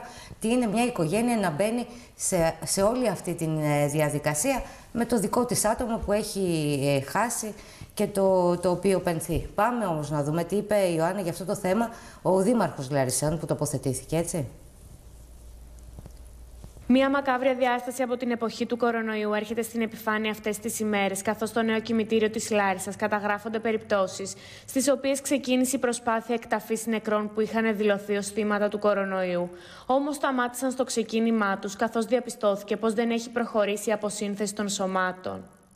Το εν λόγω θέμα απασχολεί όχι μόνο το Δήμο Λαρισαίων, αλλά πολλούς άλλους Δήμους και θα επιβαρύνει ακόμη περισσότερο τον κορεσμό των κημητηρίων, καθώς οι νεκροί που έφυγαν από κορονοϊό θα παραμείνουν για πολύ περισσότερο χρόνο από το συνήθεια εκτιμόμενο. Το πρόβλημα που έχει προκύψει το τελευταίο διάστημα αναφορικά με τις εκταφές στο κημητήριο της πόλης μας και αφορά τους ανθρώπους που έχασαν τη ζωή τους λόγω κορονοϊού είναι εξαιρετικής σημασίας και έχετε να προσθεθεί στο τεράστιο πρόβλημα που έχουμε με τα κενά στο κημητήριό μας. Να σημειώσουμε ότι το κημητήριο της πόλης μας έχει γύρω στους 6.500 τάφους, 6.500 μνήματα και εκ των οποίων μόνο 44 σήμερα είναι διαθέσιμα για να γίνουν ταφές. Καταλαβαίνετε λοιπόν την αδύρυτη ανάγκη να υπάρξει εκτεταμένο πρόγραμμα εκταφών προκειμένου να εξοικονομηθεί ο χώρος. Ο κύριος Μαμάκος ανέφερε ακόμη ότι είναι στη συνεργασία με τη Διεύθυνση Δημόσιας Υγείας του Υπουργείου Υγείας, από όπου περιμένουν αναλυτική ενημέρωση για το πώς να προχωρήσουν. Όσον αφορά όμως το ζήτημα υγείας που έχει να κάνει με τις εκταφές, οι οποίες τελικά δεν μπορούν να γίνουν γιατί οι σωροί είναι τυλιγμένα με σακούλες λόγω ότι προερχόταν από τον κορονοϊό είναι ένα ζήτημα ύψης σημασίας για τη δημόσια υγεία και για το λόγο αυτό είμαστε σε στενή συνεργασία με τη Διεύθυνση Δημόσιας Υγείας του Υπουργείου Υγείας, από όπου αναμένουμε και τις οδηγίες για το πώς θα πρέπει να χειριστούμε το ζήτημα αυτό στα πλαίσια της επιστήμης και της χρηστής διοίκησης. Το συγκεκριμένο περιστατικό με τις εκταφές φαίνεται να έχει προκύψει κυρίως για δύο λόγους. Ο ένας είναι το γεγονός πως οι νεκροί βρίσκονται μέσα σε πλαστικούς σάκους και ο δεύτερος λόγος είναι πως ακόμη και τα φέρετρά τους ήταν τυλιγμένα με πλαστικό σάκο. Σε αυτές τις πρώτες περιπτώσεις που έχουν κάνει την εμφάνισή τους, οι εργαζόμενοι ανοίγουν με προσοχή το καπάκι των φέρετρων και σκίζουν ελάχιστα τους πλαστικούς σάκους, με στόχο να προχωρήσει η αποσύνθεση των άψυχων σωμάτων. Βασίλη, τώρα πάμε να δούμε τι εξελίξεις έχουμε με το νοσοκομείο του Βόλου και ιδιαίτερα με το ογκολογικό, γιατί οι φωνές ε, διαμαρτυρίας ε, πληθαίνουν το τελευταίο χρονικό διάστημα, καθώς σήμερα απασχολείται μία ογκολόγος για ναι, τόσους ασθενείς. Να σημειώσουμε λοιπόν ότι δύο είναι μέχρι στιγμής οι αιτήσεις από ιδιώτες γιατρούς που έχουν κατατεθεί στο νοσοκομείο του Βόλου για τη θέση συνεργάτη παθολόγου ογκολόγου με καθεστώς έκδοσης δελτίου απόδειξης παροχής υπηρεσιών. Η πρόσκληση εκδήλωση ενδιαφέροντος αφορά μια θέση για έξι μήνες. Υπενθυμίζεται πως πριν από λίγες ημέρες εκκρίθηκε η προκήρυξη 8 θέσεων γιατρών στο νοσοκομείο του Βόλου, μεταξύ των οποίων περιλαμβάνεται και μια θέση ογκολόγου. Το μεγάλο θέμα το οποίο αναδείξαμε mm. και με τα αναλυτικά ρεπορτάζ τηλεόρασης του Άστρα. Οι αιτήσεις θα αξιολογηθούν να σημειώσουμε από τριμελή επιτροπή που έχει οριστεί και αποτελείται από συγκεκριμένους ε, γιατρούς. Και βεβαίως είναι πολύ σοβαρό, όπως είπες, το θέμα, κυρίως για την εξυπηρέτηση των ασθενών. Ε, βέβαια. Και μακάρι αυτή η λύση να έρθει πάρα πολύ γρήγορα. Τώρα πάμε, Ιωάννα, στο Πανεπιστημιακό της ε, Λάρισας. Εκεί είχαμε σε ώρα εργασίας να τραυματίζεται η ακτινολόγος, έτσι. Γιατί; Ακριβώς. Ένα απίστευτο περιστατικό σημειώθηκε τα ξημερώματα του Σαββάτου στο Πανεπιστημιακό Νοσοκομείο της Λάρισας, όταν η ακτινολόγος, η οποία μετέφερε το συγκεκριμένο μηχάνημα προκειμένου να κάνει ακτινογραφία σε ένα νεογνώ, κλήθηκε ε, να μεταφέρει και πάλι βάλει σε μια άλλη αίθουσα το μηχάνημα και όταν πήγε να ανοίξει την πόρτα, τότε η πόρτα μεταξύ των δύο αιθουσών ξεκόλλησε από τους μεντεσέδε με αποτέλεσμα να πέσει πάνω του και να την καταπλακώσει. Η γυναίκα φέρε τραύματα τόσο στο χέρι, στα πόδια όσο και στο κεφάλι ε, και εννοείται ότι υπήρξε μεγάλη κινητοποίηση ώστε να της παρασχεθεί οι πρώτες βοήθειες, ενώ θα παραμείνει εκτός εργασίας για περίπου ένα μήνα. Αυτό μάλιστα ήταν και η αφορμή για να συγκληθεί σήμερα Διοικητικό Συμβούλιο μεταξύ των εργαζομένων, γιατί φέρνουν για ακόμη μία φορά το θέμα της ασφάλειας ε, εντός της εργασίας. Ε, Τώρα πόσο απίστευτο είναι αυτό που συνέβη και γιατί πραγματικά συνέβη. Δηλαδή, από πότε είναι αυτή η πόρτα ξεχαρβαλωμένη και κανένας δεν το κατάλαβε; Και ότι θα μπορούσε φυσικά να γίνει και σε κάποιον ασθενή, ο οποίος θα μπορούσε από τη μία αίθουσα να μετακινηθεί στην άλλη. Και να είναι δηλαδή ήδη επιβαρημένη η κατάσταση ένας τραυματίας, αλλά εδώ και μία κτηνολόγος, μία γιατρός ε, έχει υποστεί τραύματα. Δηλαδή της ήρθε ολόκληρη πόρτα και μιλάμε τώρα για βαριές πόρτες. Αλλά υπάρχει ένα ζήτημα. Τι, πώς ήταν αυτή η πόρτα, δηλαδή ε, μιλάμε για το σημείο, για το χώρο. έγινε ακριβώς. Ναι, για το χώρο που γίνονται οι, οι εξετάσεις. Σε αυτό το χώρο βρισκόταν η γιατρός. Θα δούμε. Πάντως, ε, εκτός της, ε, του Διοικητικού Συμβουλίου των Εργαζομένων, θα γίνει και κάποια έρευνα ή ακόμη δεν έχει γίνει γνωστό; Δεν έχει γίνει ακόμα γνωστός, ωστόσο τοποθετήθηκε και ο πρόεδρος της ΠΟΕΔΗΝ, ο κ. Γιαννάκος, και είπε ότι θα ερευνηθεί σταδιακά το περιστατικό για το τι έχει συμβεί με αυτή την πόρτα που είχε ως αποτέλεσμα να τραυματιστεί η ακτινολόγος. Πραγματικά περίεργο. Πάμε να δούμε το ρεπορτάζ. Ένα απίστευτο ατύχημα συνέβη στο Πανεπιστημιακό Νοσοκομείο της Λάρισας, καθώς μια πόρτα στο ακτινολογικό εργαστήριο έφυγε από τη θέση της και τραυμάτισε εργαζόμενη, προκαλώντας τη μάλιστα κάταγωμα στο χέρι και τραύμα στο κεφάλι. Το ατύχημα συνέβη όταν η εργαζόμενη ακτινολόγος έκλεισε την πόρτα και εκείνη βγήκε από τους μεντεσέδες και έπεσε πάνω της, όπως αναφέρει το μέλος του Σωματείου Εργαζομένων στο Πανεπιστημιακό Νοσοκομείο της Λάρισας. Σάββατο ξημερώματα ειδοποιήθηκε η συνάδελφος του ακτινοδιαγνωστικού να πάει στο τμήμα των νεογνών για να κάνει μια ακτινογραφία με το φορητό μηχάνημα. Ε, στο, ενώ πήγε και να κάνει την ακτινογραφία τη μία, συνέχεια τη ζήτησαν ακόμα μία να κάνει σε ένα νεογνώ και έτσι ειδοποίησε τη συνάδελφο που είχε απομείνει στο τμήμα να φέρει μία κασέτα για να γίνει και η άλλη ακτινογραφία. Όντως και έτσι έγινε. Η συνάδελφος ξεκίνησε για να κατέβει στα τμήμα των νεογνών, αλλά άκουσε μόλι βγήκε έξω την πόρτα μια, μια ύποπτη κίνηση και θέλοντα να προστατεύσει το τμήμα, έκλεισε την πόρτα τη ε, αναμονή του διαδρόμου του ακτινολογικού εργαστηρίου. Πήγε μάλλον να κλείσει την πόρτα και ενώ πήγε να τραβήξει να κλείσει την πόρτα, η πόρτα έπεσε πάνω τη και την καταπλάκωσε με συνέπεια να έχει τραύμα στο κεφάλι, στο πόδι της το αριστερό κάτω στην ε, ε ποδοκνημική και το μεγαλύτερο πρόβλημα, όπως διαπιστώθηκε στα ΤΕΒ, να έχει κάταγμα στην πιχιοκαρπική άρθρωση, με συνέπεια ένα μήνα να είναι εκτός υπηρεσίας με αναρωτική άδεια και με γύψος στο χέρι της. Ακόμη, ο ίδιος αναφέρθηκε για ακόμη μια φορά στο ζήτημα της ασφάλειας των εργαζομένων. Θεωρούμε ότι πέρα τα μεγάλα προβλήματα που αντιμετωπίζουμε ως εργαζόμενοι μέσα στο νοσοκομείο, ότι η ασφάλεια των εργαζομένων είναι το πρώτο και το σημαντικό. Ε, θα κάνουμε το διοικητικό μας συμβούλιο σήμερα μαζί με το Σωματείο των ε, Γιατρών του ΕΣΥ γιατί όπως είπα και πριν, πρώτα είναι η υγεία των εργαζομένων για να αποφασίσουμε ποιες ενέργειες θα κάνουμε στην πορεία, τι θα ζητήσουμε από τη διοίκηση και ποια θα είναι η ανακοίνωσή μας που θα βγάλουμε στα μέσα. Πάντως, η γυναίκα λόγω των τραυμάτων που έχει υποστεί θα αναγκαστεί να μείνει εκτός εργασίας για περίπου έναν μήνα.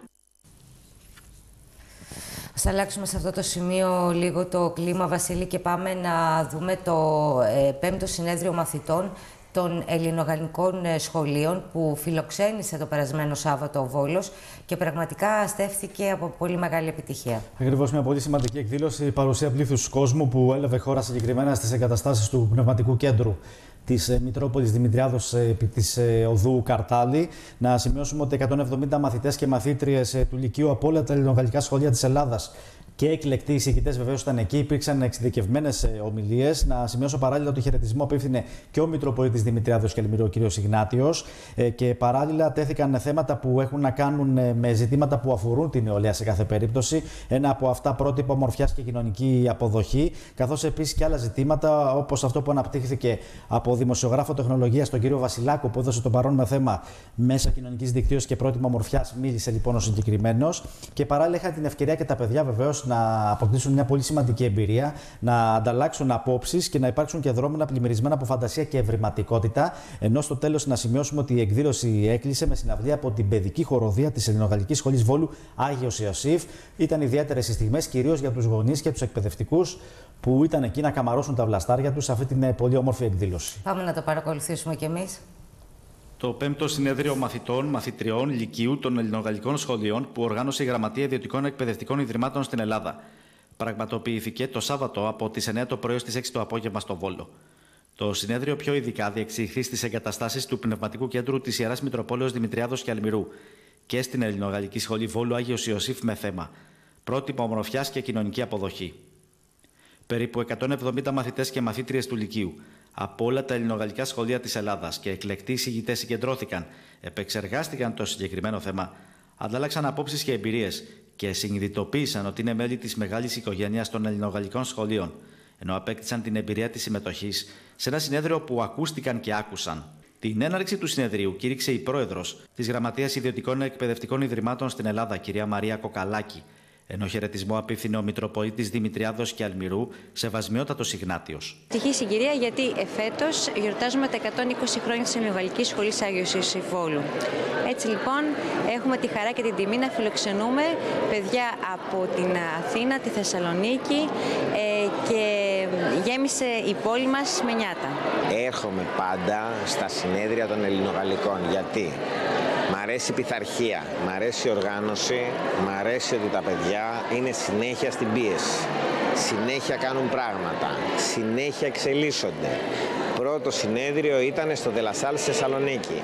Δεύτερο, τρίτο, τέταρτο, πέμπτο τώρα στο Βόλο. Εξελισσόμαστε, προχωράμε όπως πρέπει να προχωράνε όλα τα παιδιά και όλες οι οικογένειες γνωστικά, συναισθηματικά, ψυχικά, βιολογικά. Τέτοια προσαρμοστικότητα και πλαστικότητα στον εγκέφαλό τους που μπορείς να βάλεις τις βάσεις για ένα καλύτερο αύριο. Κεντρικοί ομιλητές του συνεδρίου ήταν η κυρία Αγγελική Κολέτη, ψυχολόγος, συστημική ψυχοθεραπεύτρια, συντονίστρια κέντρου συμβουλευτικής και ψυχολογικής στήριξης φοιτητών φοιτητριών Πανεπιστημίου Θεσσαλίας, και η κυρία Ειρήνη Τσιτσιπά, ψυχολόγος, ειδικευμένη στις διατροφικές διαταραχές με θέμα. Ψυχικές διαταραχές που σχετίζονται με τα πρότυπα μορφιά της σύγχρονης εποχής. Παράλληλα και ο κύριος Νίκος Βασιλάκος, δημοσιογράφος τεχνολογίας που ανέπτυξε το θέμα, μέσα κοινωνικής δικτύωσης και πρότυπα ομορφιάς. Είμαι πάρα πολύ χαρούμενη που γίνονται τέτοια δρόμενα και ο λόγος που το λέω είναι γιατί όλοι ξέρουμε ότι τα social στη ζωή μας είναι, έχουν πάρα πάρα πολύ σημαντική θέση. Είναι εδώ και θα είναι εδώ.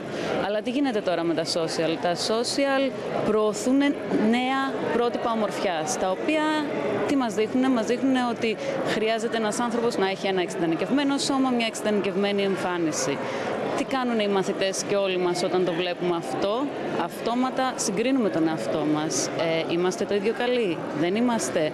Και δημιουργείται μια δυσαρέσκεια με το σώμα. Οπότε θεωρώ πάρα πολύ σημαντικό, όπως είπα πριν, να γίνονται τέτοια δρόμενα για να ενημερώνονται οι μαθητές και για το πώς δημιουργούνται τα πρότυπα ομορφιάς και για το πώς συντηρούνται και τι μπορούν να προκαλέσουν από θέματα διαταραχών, από θέματα δυσαρέσκειας με το, με το σώμα και όλα αυτά.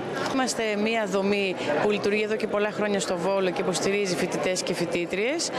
Ε, στο πλαίσιο αυτό να αντιμετωπίζουμε και φοιτητές που έχουν διαταραχές πρόσφυσης τροφής. Έχουμε και μια εξωτερική συνεργάτη που έχει ως αντικείμενο αυτό.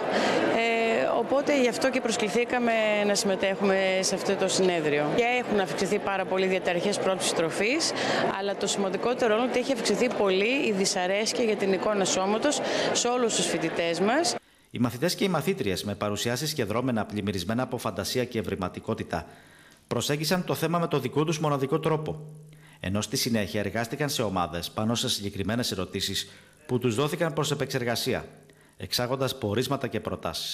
Και καταλήξαμε ότι η υποκριτική προβολή μόνο ενός προτύπου δημιουργεί σημαντεμένου και τελικά περιθωριοποιημένου ανθρώπους. Και μεγάλες πολυεθνικές παρουσιάζουν ιδανικά και πλαστά πρότυπα, προκειμένου να επεκταθούν σε νέο κοινό και να αποκτήσουν περαιτέρω οικονομικές απολαυέ. Τέλος, πιστεύουμε πως μέσω της σωστής ενημέρωσης και συμπεριφοράς αναπτύσσουμε την κριτική μας σκέψη και έτσι μπορούμε να ξεφύγουμε το σημερινό φαύλο κύκλο των λαθασμένων προτύπων. Ε, η ομάδα μου ασχολήθηκε με το body positivity και το body shaming ε, και όλα αυτά στα μέσα κοινωνική δικτύωση.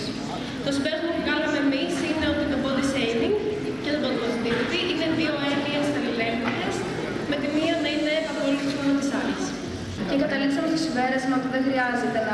είσαι για αυτό που δεν είσαι. Είσαι πολλά περισσότερα από τον αριθμό της ζυγαριάς σου και την όψη του καθρέφτη σου.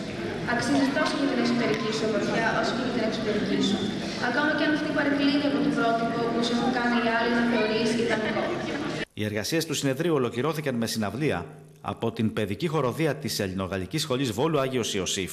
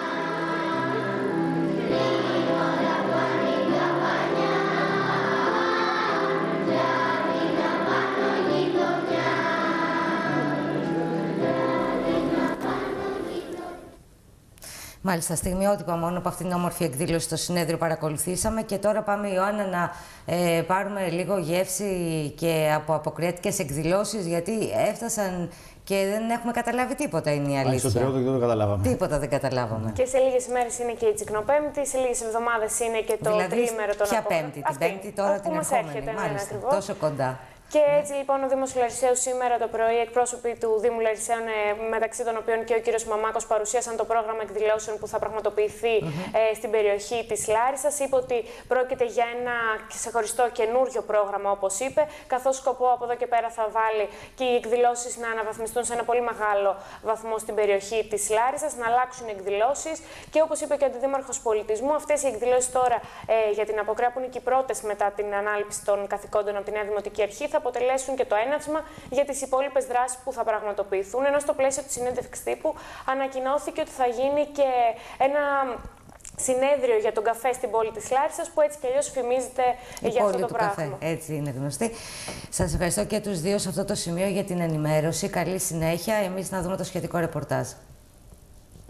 Τον σχεδιασμό της Δημοτικής Αρχής για τον εορτασμό των αποκρεών παρουσίασαν σήμερα το πρωί. Στο πλαίσιο συνέντευξης τύπου που παραχωρήθηκε στο μήλο του Παπά, εκπρόσωποι της Δημοτικής Αρχής του Δήμου Λαρισαίων. Όπως τόνισαν από κοινού, στόχος για φέτος είναι τόσο η ανάδειξη των αποκριάτικων εθήμων της περιοχής, όσο και η επούλωση των πληγών που άφησαν πίσω τους οι πλημμύρες του περασμένου Σεπτεμβρίου, με ένα πλούσιο πρόγραμμα εκδηλώσεων για μικρούς και μεγάλους. Φέτος η πόλη μας ανοίγει τις πύλες της στους πολίτες της Λάισας και τους επισκέπτες για τις απόκριες με μια σειρά εκδηλώσεων, σε συνεργασία και συνέργεια με τους φορείς και τους συλλόγους στο κέντρο, αλλά και τις συνοικίες. Θέλουμε να δημιουργήσουμε μια ατμόσφαιρα γιορτής, στην οποία θα συμμετέχουν μικροί και μεγάλοι, δημότες και επισκέπτες. Τον τελευταίο χρόνο περάσαμε πολλά σαν πόλη και σαν κοινωνία. Επικεντρώνουμε τις δυνάμεις μας στην επούλωση των πληγών. Εργαζόμαστε συστηματικά για την ανακούφιση των συνανθρώπων μας. Γνωρίζουμε όμως επίσης ότι η Λάρισα διαθέτει ισχυρές δυνάμεις και πλεονεκτήματα, δραστήριους φορείς και συλλόγους που εργάζονται για την ανάδειξη της πόλης μας. Αυτή τη συνένωση όλων των δημιουργικών δυνάμεων θέλουμε να εμπνεύσουμε στην προοπτική ανάπτυξης και ευημερίας της Λάρισας. Καλούμε όλους τους πολίτες να έρθουν να συμμετέχουν στις εορταστικές εκδηλώσεις. Για μια γιορτή, όχι πια στατική και μεμονωμένη, αλλά που θα στηρίζεται στη διαρκή μετακίνηση και ροή, έκανε λόγο ο Αντιδήμαρχος Πολιτισμού κ. Ρετσιάνη. Οι μέρες αποκριών ε, Λάρισα 2024 ε, ξεκινούν. Ο Δήμαρχος μόλις έδωσε το γενικό περίγραμμα, το οποίο αφορά στις ε, συμπράξεις, συνέργειες, στην εξωστρέφεια, ε, στην κινητικότητα μέσα στην πόλη, στο κάλεσμα όλων των πολιτών, μικρών και μεγάλων, να συμμετέχουν σε μια μεγάλη γιορτή, η οποία πλέον δεν θα είναι στατική και μεμονωμένη, αλλά θα αφορά όλη την πόλη, θα στηρίζεται στην, ε, στη ροή, στη μετακίνηση, στη μουσική που ε, μετακινείται από ένα σημείο στο άλλο, στο ότι μπορούμε να ακούμε ένα τραγούδι σε μια γειτονιά και να τα ακούμε το ίδιο τραγούδι σε άλλη και να είναι διαφορετικό. Αυτό, αυτές είναι οι απόκριες και αυτή είναι και η μαγεία της παράδοσης που ενώ είναι πάντα κάτι οικείο και ίδιο, πάντα είναι κάτι διαφορετικό όσο περνάνε τα χρόνια. Εγώ θα ήθελα να σε εξειδικεύσω ε, σε, με, λίγα, με λίγα λόγια τις ε, δράσεις που θα κάνουμε. Ε, θα ξεκινήσουμε την ε, Τσικνοπέμπτη με μια μεγάλη συναυλία και ένα δρόμενο με τον ε, Γιάννη Ζουγανέλη στην κεντρική πλατεία. Θα έχουμε και παραδοσιακή μουσική ε, με τοπικούς ε, ε, μεζέδες, με τοπικά εδέσματα και κρασί. Θα συνεχίσουμε μετά την Παρασκευή και το Σάββατο του τριμέρου των ε, Αποκρεών. Την Παρασκευή το μεσημέρι θα ξεκινήσουμε από το Μήλο του Παπά, από το χώρο που βρισκόμαστε σήμερα εδώ, στο οποίο θα υπάρχει ένα κάλεσμα σε συλλόγους στη Φιλαρμονική του Δήμου και ε, στην, ε, δημοτική, στο Δημοτικό Δίο Λάρισας που πρώτη φορά συμμετέχει στις απόκριες με την παραδοσιακή του ορχήστρα θα ξεκινήσουμε επίσης με κρασί το μεσημέρι, με μουσικές και συλλόγους και δράσεις για παιδιά. Από την πλευρά του, ο κ. Τζατζάκης τόνισε πως η περίοδος των αποκρεών σηματοδοτεί και την έναρξη άλλων δράσεων για το Δήμο Λαρισαίων. Απευθύνονται σε όλα τα ηλικιακά κενά και δίνουν τη δυνατότητα σε μικρούς και μεγάλους σίγουρα να πετύχουν μια ευχάριστη απόδραση από μια πολλές φορές δύσκολη καθημερινότητα. Είμαστε εδώ για να στηρίξουμε όλες αυτές τις δράσεις και είμαστε σίγουροι πως το αποτύπωμα που θα αποδώσουν είναι τουλάχιστον, θα είναι τουλάχιστον θετικό. Από εκεί και πέρα Είμαι ευλογημένος καθώς έχω τη θέση του Δημάρχου Τουρισμού και Εξωστρέφειας. Ο Δήμαρχος και όλη η δημοτική ομάδα και όλη η παράταξη πιστεύει πάρα πολύ σε αυτό το εγχείρημα, πιστεύει πολύ στις δυνατότητες της πόλης μας. Εκκινούμε από τις απόκριες για να συνεχίσουμε με μία σειρά δράσεων, τις οποίες θα υπηρετήσουμε και θα υποστηρίξουμε καθ' όλη την πενταετία, έτσι ώστε να βάλουμε την πόλη μας στον τουριστικό χάρτη και στο χάρτη επισκεψιμότητας στη θέση που της αξίζει, με το στίγμα που της αξίζει και να δίνουμε ευκαιρίες που πραγματικά οι άνθρωποι που θα μας επισκέπτονται όταν επιστρέφουν στον τόπο τους να είναι οι καλύτεροι πρεσβευτές της Λάρισας. Αυτό που επίσης επισημάνθηκε είναι ότι η Δημοτική Αρχή ετοιμάζει το μεγαλύτερο φεστιβάλ καφέ στην πόλη της Λάρισας, για τον οποίο μάλιστα φημίζεται πανελλαδικά. Μάλιστα, ελάτε τώρα να δούμε τι έγινε το περασμένο Σάββατο στο πρώτο συνέδριο μελισσοκομείας που πραγματοποιήθηκε στη Λάρισα. Ε, εκεί όπου μπήκαν στο τραπέζι για άλλη μια φορά και αυτό συμβαίνει πολύ συχνά το τελευταίο χρονικό διάστημα και μάλιστα με πολλές μορφές μπήκαν στο τραπέζι του διαλόγου τα προβλήματα που αντιμετωπίζει ο κλάδος. Είναι εδώ μαζί μας και τον καλωσορίζουμε ο πρόεδρος των Μελισσοκόμων της Λάρισας, ο κύριος Πέτρος Σαρούδης. Καλό απόγευμα, κύριε Σαρούδη, καλώς ήρθατε. Καλησπέρα σας, ευχαριστώ πολύ. Εμείς ευχαριστούμε που είστε εδώ, γιατί οι Μελισσοκόμοι το τελευταίο χρονικό διάστημα, ακόμη και με κινητοποιήσει, δηλαδή σας βλέπουμε τώρα πολύ συχνά σε κινητοποιήσει έξω στους δρόμους. Κάτι ε, που δεν μας έχετε συνηθίσει τα προηγούμενα χρόνια. Αλλά αυτό δείχνει πόσο σοβαρά είναι τα προβλήματα. Επομένως, τους πολλούς τελευταίους μήνες έχουμε τους μελισσοκόμους να φωνάζουν και να λένε ο κλάδος αντιμετωπίζει διάφορα ζητήματα που πρέπει να αντιμετωπιστούν. Φαντάζομαι αυτά κυριάρχησαν και στο συνέδριο μελισσοκομείας που ήταν το πρώτο και πραγματοποιήθηκε στη Λάρισα. Έτσι ακριβώς είναι. Ε, χθες έγινε αυτό ε, Κυριακή. Α, χθες Κυριακή, ε, ναι. Ναι, χθες Κυριακή έγινε. Δεν πειράζει. Δεν το ίδιο πράγμα. Σημασία, σημασία τι Σάββατο την Κυριακή. Τι υπόθηκε σε αυτό και αν έχουμε και συμπεράσματα. Αυτό έχει σημασία τώρα. Ναι, τα, κοιτάξτε να δείτε, ήταν μια πρωτοβουλία του συλλόγου του δικού μας μαζί με του συλλόγου του Εύρου ε, όσον αφορά ε, τις ζημίες που έπαθε η Θεσσαλία από τις πλημμύρες και ε, τι έπαθε και ο αντίστοιχος σύλλογος ε, του Εύρω ε, από στις πυρκαγιές. Ναι, από τις πυρκαγιές, ναι. Από τις πυρκαγιές. Ε, ήταν το συνέδριο ε, υπό την υποπτία ε, της Περιφέρειας Χορηγία και του Υπουργείου Αγροτικής Ανάπτυξης. Παρόν ήταν ο Γενικός Γραμματέας του Υπουργείου, ήταν ο κύριος Κουρέτας, ε, κάποιοι βουλευτές, ε, ψηφίσματα υπήρχαν ε, και χαιρετισμοί από πολιτικό κόσμο. Ε, το συνέδριο, κοιτάξτε να δείτε, ε, ε, έπρεπε να γίνει για να συνειδητοποιήσουμε και εμείς οι ίδιοι τι έχει γίνει στη Θεσσαλία, γιατί πολλοί δεν το έχουν συνειδητοποιήσει όσον αφορά πάνω στη μελισσοκομεία.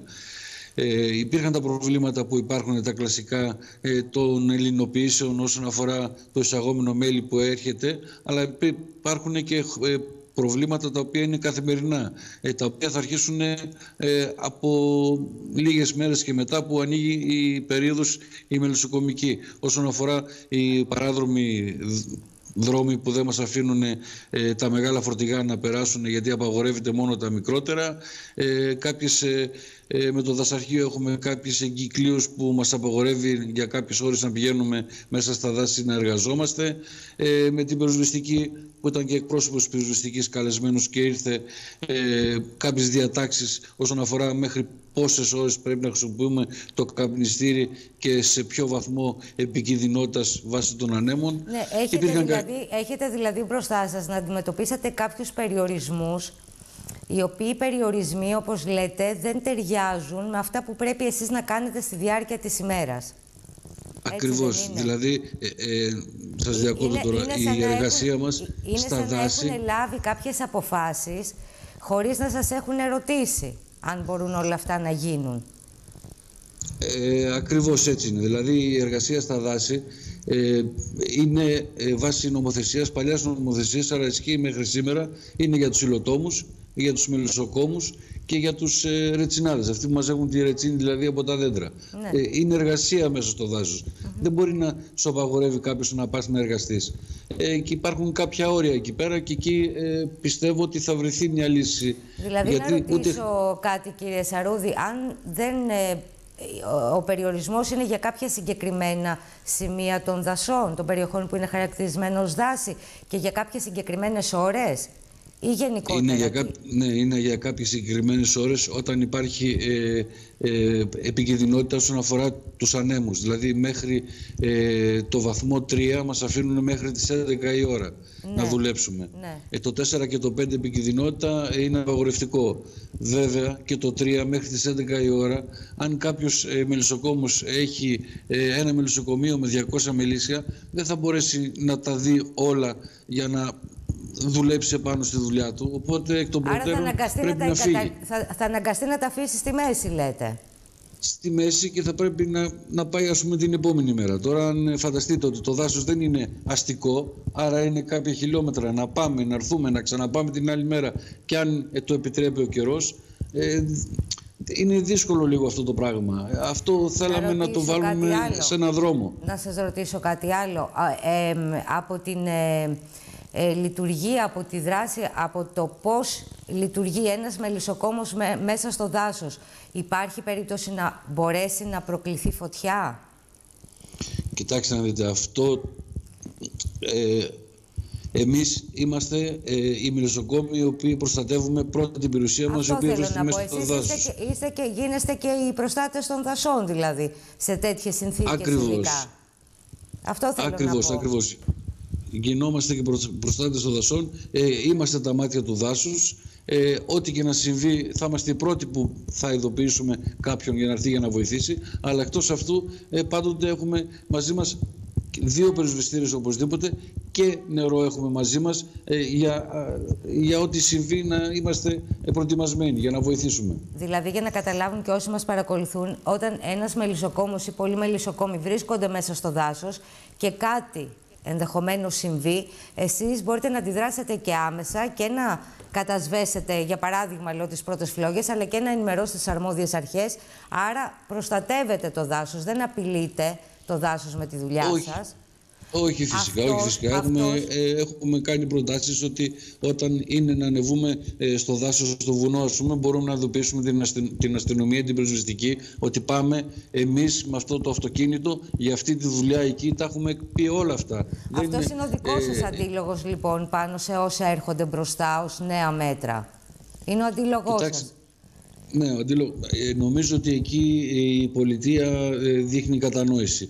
Πάνω στην εργασία. Και η δασική υπηρεσία και η πυροσβεστική νομίζω ότι θα υπάρξει καλή θέληση και από τους Αυτό είναι θετικό. Αυτό είναι θετικό, όπως το λέτε, ότι κατανοούν ναι, ναι. Τι, τους, τι τους λέτε και τι τους εξηγείτε και ότι θα υπάρξουν κάποιες βελτιώσεις για να μην δυσκολευτείτε πολύ. Άρα, από τη μία είναι τα όσα έρχονται και λέτε θα δούμε ακριβώς πώς θα αντιμετωπιστούν. Από την άλλη είναι τα όσα προηγήθηκαν. Από τις πυρκαγιές, από τις πλημμύρες και μετά. Φυσικά, ναι. Εκεί υπάρχει ένα πρόβλημα γιατί έχουν γίνει μεγάλες καταστροφές ε, και στη βιοπικιλότητα και στις δεντρόδες καλλιέργειες. Ε, όπως γνωρίζετε η μέλισσα αυτά θέλει. Ε, δεν καλλιεργούμε κάτι για να πάει η μέλισσα εκεί που καλλιεργούμε. Ε, εκεί θα υπάρχει ένα πρόβλημα. Το να ξαναρθεί πάλι η μελισσοκομεία σε αυτό το επίπεδο που ήταν μετά από τόσες χιλιάδες μελίσσα που έχουν χαθεί. Να καταλάβετε τώρα στην περιφερειακή ενότητα, εδώ τη δικιά μας της Ελλάρισσας, έχουν χαθεί περίπου 17.500 μελίσια. Ε, δηλωμένα ε, επίσημα δηλαδή των συναδέλφων. Τι χρόνο ε, θέλει όλο αυτό, τι, τι χρόνο λέτε για να αποκατασταθεί; Οπωσδήποτε θα χρειαστεί μια διετία σίγουρα για να έρθουμε πάλι σε μια κανονικότητα σε αριθμό ε, μελισσιών. Γιατί ε, να καταλάβετε τώρα ότι η μέλισσα εφόσον ε, χρησιμοποιεί, μάλλον είναι εργαλείο ε, επικονίασης, που βοηθάει και τους άλλους συναδέλφους τους αγρότες στην αυξηθεί παραγωγή, ε, θα έχουμε ένα γενικό πρόβλημα ναι. της επικονίασης και γενικά της ευλάστησης σε εμάς εδώ. Άρα εδώ τι, τι ζητάτε για όλα αυτά, ζητάτε στήριξη για να παραμείνετε στο, παρά τις, ε, τα, τις μεγάλες καταστροφές, για να παραμείνετε στον κλάδο και να μην εγκαταλείψετε αυτή τη δουλειά; Βέβαια, γιατί υπάρχουν και κάποια προγράμματα που είχαν πει κάποια νέα παιδιά ναι. ε, που έχουν κάποιες δεσμεύσεις και αναγκαστικά θα πρέπει να είναι και αυτοί ε, εντάξει απέναντι στα προγράμματα και στο Υπουργείο. Ε, βέβαια, υπάρχει και από το Υπουργείο ε, καλή διάθεση, αλλά οι ζημίες είναι τόσο πολλές μεγάλες εδώ στη Θεσσαλία όσον αφορά τη μελισσοκομεία και το υπόλοιπο ζωικό ή φυτικό κεφάλαιο ή και τις εγκαταστάσεις που αυτά θα χρειαστεί ένα χρονικό διάστημα για να επανέλθουν. Ναι. Οπότε υπάρχει θέμα υπομονής όσο μπορεί ο, ο καθένας να κάνει την υπομονή του για να το παλέψει. Διαφορετικά δεν γίνεται. Μάλιστα. Τώρα από το συνέδριο, από τις εργασίες του συνεδρίου ε, βγήκαν κάποια συμπεράσματα τα οποία σας δείχνουν την κατεύθυνση για το επόμενο χρονικό διάστημα. Δηλαδή έχετε αποφασίσει ε, συγκεκριμένες ενέργειες για το τι θα κάνετε; Κοιτάξτε να δείτε, ε, ήταν και ο Γενικός Γραμματέας του Υπουργείου, όπως σας είπα, και ο Περιφερειάρχης. Ο Γενικός Γραμματέας του Υπουργείου, όσον αφορά για τις ελληνοποιήσει, είπε ότι θα υπάρχει μια πλατφόρμα ψηφιακή που θα ελέγχουν πόσα μέλη έρχονται στην Ελλάδα μέσα, ε, ένα σαν μια αποθήκη και τι μέλια βγάζουμε εμείς και τι έρχονται, για να βρουν το ισοζύγιο ε, τι μπαίνει, τι βγαίνει. Ε, κάτι αντίστοιχο δηλαδή που κάτι πρέπει να υπάρχει το αντίστοιχο για το γάλα σε μια πλατφόρμα δηλαδή για να ελέγχουν, για να μην υπάρχουν αυτές οι ελληνοποιήσεις και ενωθείς που γίνονται στο μέλι. Γιατί είναι πολύ εύκολο να γίνει στο μέλι. Τα, τα τρία είδη που μπορούν να γίνουν εύκολα ε, είναι το μέλι, το γάλα και το λάδι. Ε, τώρα από εκεί και πέρα ε, καλό ήταν το συνέδριο, έγινε πρώτη φορά στη Λάρισα, ανταποκρίθηκε, ανταποκρίθηκε πολύ ο κόσμος. Ε, υπήρχε μια ε, και από καθηγητές ε, που ήρθανε, ε, υπήρχε μια ε, καλή συζήτηση πάνω στα προβλήματα και το πώς θα πρέπει να τα αντιμετωπίσουμε. βέβαια ο χρόνος θα δείξει και το αποτέλεσμα ποιο θα είναι αυτό. Άρα τι κρατάτε μικρό καλάθι και βλέποντας και κάνοντας... Βέβαια, γιατί ο καιρός Κοιτάξτε, ούτε χειμώνα είχαμε πάρα πολύ βαρύ, οπότε δεν ξέρουμε πώς θα εξελιχθεί τώρα η, η άνοιξη που θα έρθει. Θυμάστε, πέρυσι Απρίλιο, Μάιο έβριχε συνέχεια, ήταν άσχημη χρονιά. Ναι. Ε, μετά πήγαμε σε μια ανοβρία το καλοκαίρι, ήρθαν οι πυρκαγιές, μετά ήρθαν οι πλημμύρες. Καταλαβαίνετε, ε, ε, δεν ξέρουμε πώς θα εξελιχθεί τώρα ο καιρός. Αυτή η κλιματική αλλαγή ήρθε και δεν πρόκειται να φύγει από ό,τι λένε οι επιστήμονες. Τα καλύτερα ευχόμαστε, κύριε Σαρούδη. Το ξέρετε ότι όλοι μας ευχόμαστε τα καλύτερα. Ε, σας ευχαριστώ, πάρα πολύ. που ήσασταν εδώ. Καλή συνέχεια. Ευχαριστώ και εγώ. Καλό μεσημέρι. Λοιπόν, τώρα πάμε εμείς σε αυτό το σημείο σε ένα πολύ σύντομο διαφημιστικό διάλειμμα και σε λίγο και πάλι εδώ.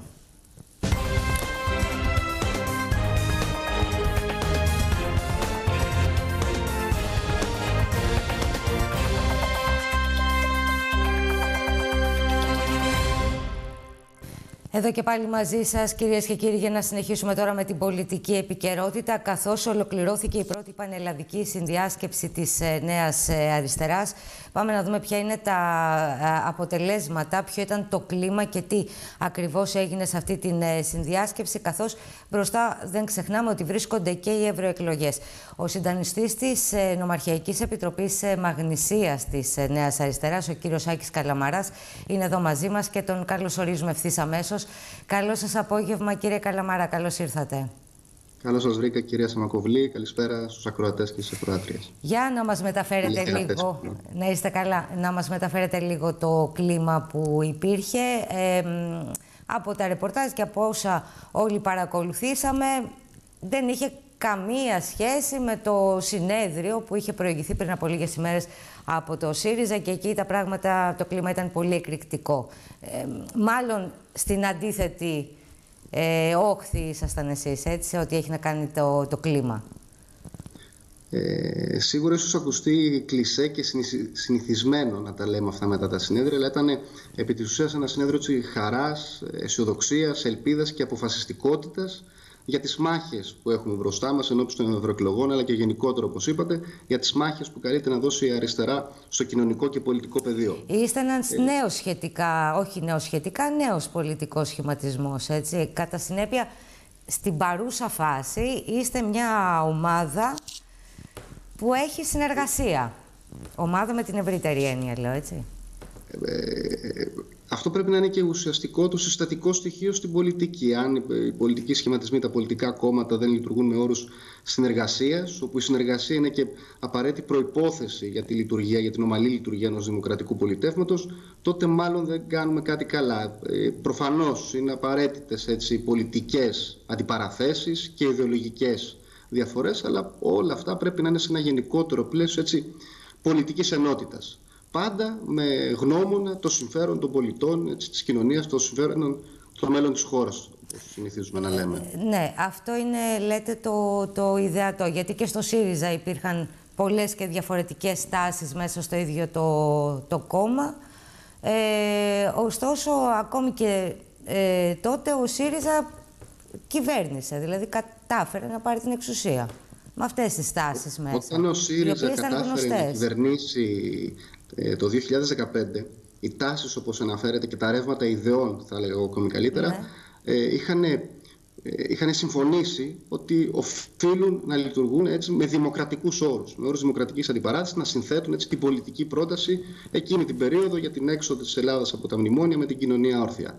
Ενδεχομένως, ίσως από το 2019 και μετά θα μπορούσε να πει κάποιος ότι αυτή η δημοκρατική κουλτούρα δεν κυριάρχησε εντός του ΣΥΡΙΖΑ και οι τάσεις γίνανε μηχανισμοί και ίσως προσωπικοί ανταγωνισμοί και προσωπικές ατζέντες. Με άλλαξε, αποτέλεσμα αυτό που βλέπουμε σήμερα. Τι άλλαξε τότε δηλαδή; Αν θέλουμε να κάνουμε μια έτσι ειλικρινή αυτοκριτική που πρόκειται να την κάνει και η Νέα Αριστερά το επόμενο διάστημα στο συνέδριό της το ερχόμενο φθινόπωρο ε, θα λέγαμε ότι ο στόχος της διεύρυνσης, ο απαραίτητος στόχος της διεύρυνσης αριστεράς και πολιτικής συμμαχιών, έτσι, καταλαβαίνουμε ότι και η αριστερά δεν ε, μάχεται για την αυτοεπιβεβαίωσή της, αλλά για να δημιουργήσει ένα ευρύτερο έτσι, μπλοκ πολιτικών κοινωνικών διά, και κοινωνικών δυνάμεων που θα πρέπει να αντιπαρατηθούν με τη δεξιά και με τον κύριο Μητσοτάκη. Ενδεχομένως εκείνη την περίοδο να μην ε, να έγινε με κάποιους λάθους όρους όλη αυτή η στρατηγική της ε, διεύρυνσης και αν θέλουμε να φέρουμε και χειροπιαστά παραδείγματα, είχαμε ίσως τα αντιφατικά έτσι, ε, γεγονότα να βρισκόμαστε σε ένα κόμμα με την επωνυμία ριζοσπαστική αριστερά, αλλά να έχει στις τάξεις της ε, ακόμη και ανθρώπους και προσωπικότητες από την ε, λαϊκή δεξιά ή από κάποια τμήματα ίσως του, του μνημονιακού Πασόκου ίσως τελικά η κοινωνία να διέκρινε ότι δεν μπορεί να υπάρξει μια έτσι σύμπνοια και ε, κοινός βηματισμός εκ διαμέτρου αντίθετων πολιτικών δυνάμεων. Τώρα εσείς ε, στη Νέα Αριστερά προχωράτε γιατί είστε στελέχη που προέρχεστε από τον ΣΥΡΙΖΑ. Ε, προχωράτε έχοντας υπόψη σας όλα αυτά τα δεδομένα, όλα αυτά τα λάθη, όλες αυτές τις παραλήψεις, όλα όσα οδήγησαν σε εσωκομματικές συγκρούσεις και ακόμα δηλαδή τις βλέπουμε; είναι απαραίτητο να λαμβάνουμε υπόψη μας έτσι, τα δεδομένα, τα, τα λάθη που κάναμε, να, να μαθαίνουμε από τα λάθη του παρελθόντος, να κάνουμε την αυτοκριτική μας. Πρώτα ο καθένας έτσι, σε προσωπικό επίπεδο και προφανώς και τη συλλογική μας αυτοκριτική ε, και να κατανοήσουμε το τι πήγε στραβά ώστε να καταφέρουμε στο εδώ και στο τώρα να δώσουμε απαντήσεις στα, στα πραγματικά προβλήματα της κοινωνίας.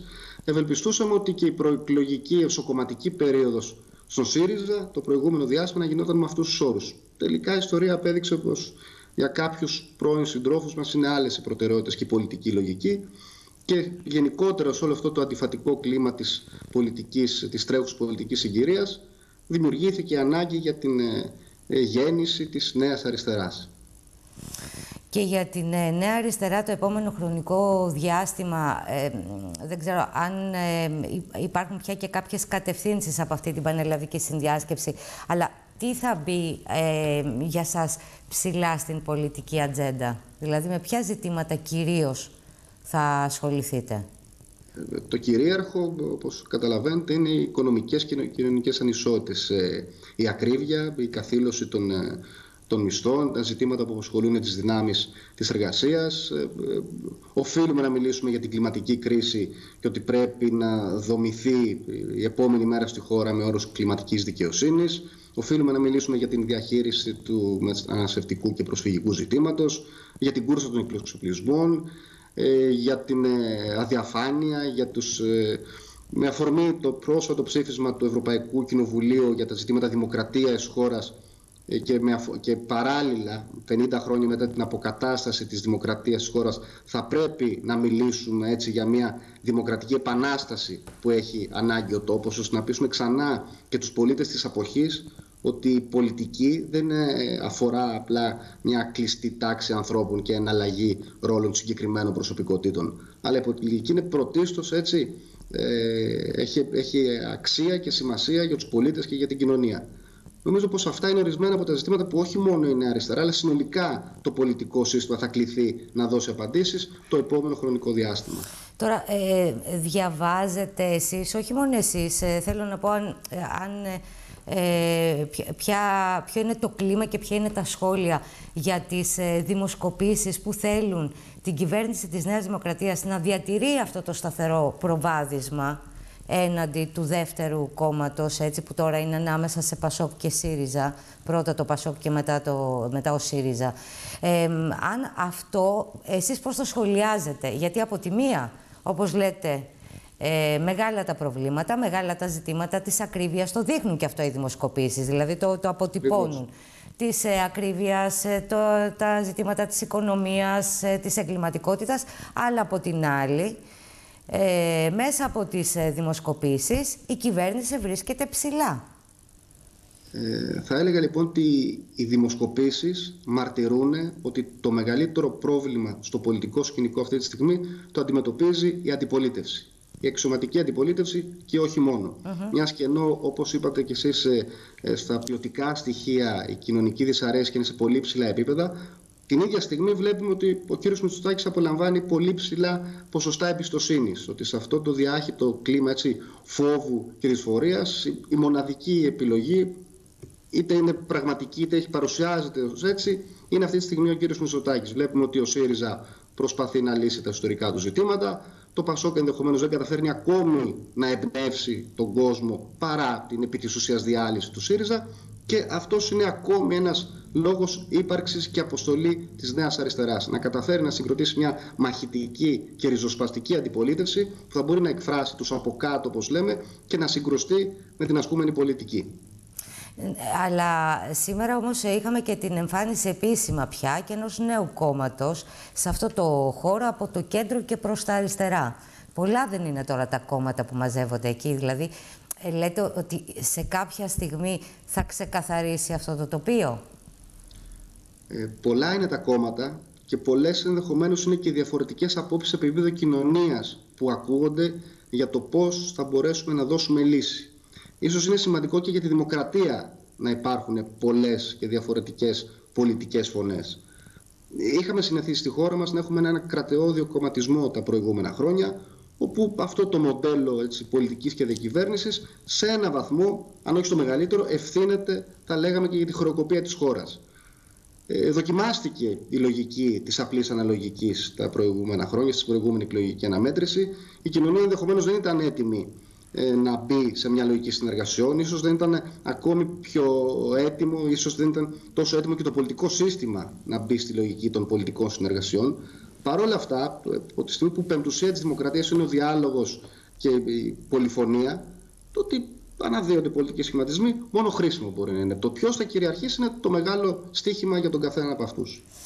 Μάλιστα. Επομένως, κύριε Καλαμαρά, το συνέδριο σας θα είναι το φθινόπωρο μετά πια τις ευρωεκλογές, έτσι; Το τοποθετούμε περίπου Σεπτέμβριο, Οκτώβριο, κάπου εκεί. Για τις ευρωεκλογές, στόχους της Νέας Αριστεράς; Ε, Όπως έχει διατυπωθεί επανειλημμένω, ένας ε, ποσοτικός στόχος είναι η εκλογή ενός ευρωβουλευτή, μιας ευρωβουλεύτριας για τη Νέα Αριστερά να μιλήσουμε ξεκάθαρα. Ναι. Βέβαια, η προσπάθεια της Νέας Αριστεράς δεν σταματάει και δεν θα κρυθεί από το αποτέλεσμα των ευρωεκλογών, αλλά αντιλαμβανόμαστε ότι θα είναι ένα κρίσιμο σκαλοπάτι για το πώς θα συνεχιστεί αυτή η προσπάθεια. Μάλιστα. Σας ευχαριστώ πάρα πολύ που ήσασταν μαζί μας σήμερα. Και να είστε εγώ καλά. ευχαριστώ για την πρόσκληση. Γεια σας. Πάμε σε ένα ακόμη πολύ μικρό διαφημιστικό διάλειμμα και επιστρέφουμε.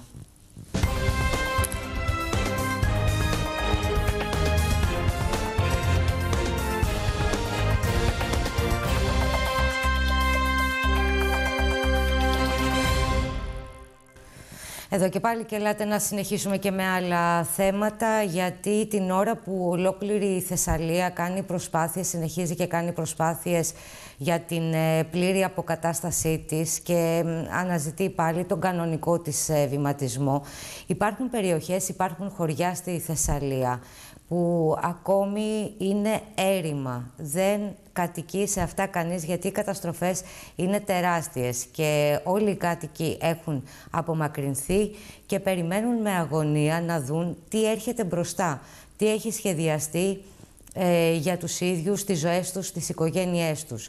Γιατί ακόμη δεν ξέρουν τι ακριβώς, ποιο είναι ακριβώς το σχέδιο που τους ε, περιμένει και κάπου είναι προσωρινά φιλοξενούμενοι. Πάμε λοιπόν να δούμε τι γίνεται με την ε, περιοχή της μεταμόρφωσης, στην Καρδίτσα. Καλωσορίζουμε εδώ μαζί μας τον πρόεδρο της κοινότητας, τον κύριο Πέτρο Κοντογιάννη. Κύριε Κοντογιάννη, καλώς απόγευμα.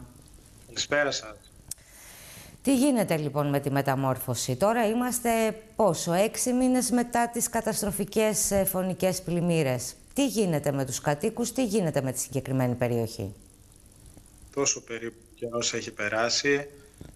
Οι κάτοικοι συνεχίζουν να βρίσκονται διάσπαρτοι, να μένουν δηλαδή ή εντός Δήμου Παλαμάς, σε διάφορα χωριά, ή στην Καρδίτσα, στη Λάρισα κάποιοι. Έχουν, ε, να πούμε την αλήθεια, έχουν επιστρέψει στο χωριό, μένουν σε, στα δύο διόροφα, μένουν οι οικογένειες και σε τρει ε, δεν είναι, ε, Επιτρέψτε μου λίγο, δεν είναι πολλές αυτές οι οικογένειες που μένουν στα. Φυσικά και όχι. Γύρω στις 4-5 οικογένειες είναι. Οι άλλοι δεν έχουν επιστρέψει. Είναι άγνωστο ακόμη πότε θα επιστρέψουν. Θέλω να πω, γιατί το ρωτάω αυτό, γιατί το έχουμε ξανακούσει και, και προηγουμένε τι φορές που συχνά έχουμε ασχοληθεί και με τη συγκεκριμένη περιοχή. Επέστρεψαν κάποιοι που τα σπίτια τους είναι ψηλά και δεν έχουν τόσο μεγάλες ζημιές, δηλαδή δεν έχουν τέτοια υγρασία, τόσο νερά. Αλλά ε, σκεφτόμαστε όλοι μας ότι και αυτό δεν είναι εύκολο. Δηλαδή όταν είναι 4-5 οικογένειες σε ολόκληρο χωριό, πόσο εύκολη είναι και η ζωή. Είναι λίγο περίεργο και για αυτούς τους ανθρώπους, ακόμη και αν βρίσκονται στα σπίτια τους. Φυσικά δεν είναι εύκολη ζωή, καθώς το χωριό δεν έχει μπει σε πλήρης λειτουργικότητα. Ε, δεν ξέρουμε πότε ακριβώς θα επιστρέψουμε, θα πρέπει να έρθει το καλοκαίρι. Βλέπετε τώρα, πριν δύο μέρες, τρεις που έβρεξε λίγο, υπήρχαν θέματα στη γύρω περιοχή. Mm-hmm. σε κάποια σημεία χρειάστηκε ενίσχυση. Οπότε είναι πολύ δύσκολη η κατάσταση το να επιστρέψει κάποιος και να μείνει σπίτι του και να φτιάξει την κουζίνα και όλα αυτά. Και σίγουρα τα σπίτια ακόμη δεν είναι κατοικήσιμα, γιατί έχουν όπως λέτε υγρασία και οτιδήποτε άλλο. Δεν μπορείς να μείνεις μέσα στο σπίτι αυτή τη στιγμή και να είναι όλα όπως πρέπει να είναι φυσιολογικά όπως ήταν πριν. Και αυτοί που μένουν είναι λίγο επικίνδυνο, καθώς ε, η ιατρική επιστήμη έχει πει ότι μπορεί να δημιουργηθεί κάποιο θέμα στα πνευμόνια ανάλογα την υγρασία, μικροσωματίδια που δεν φαίνονται. Μάλιστα. Άρα το κάνουν οι άνθρωποι και με δική τους ευθύνη τώρα, έτσι, γιατί δεν έχουν, ε, καταλαβαίνουμε, δεν έχουν και εναλλακτική. Δεν υπάρχει εναλλακτική και για όλες τις περιπτώσεις.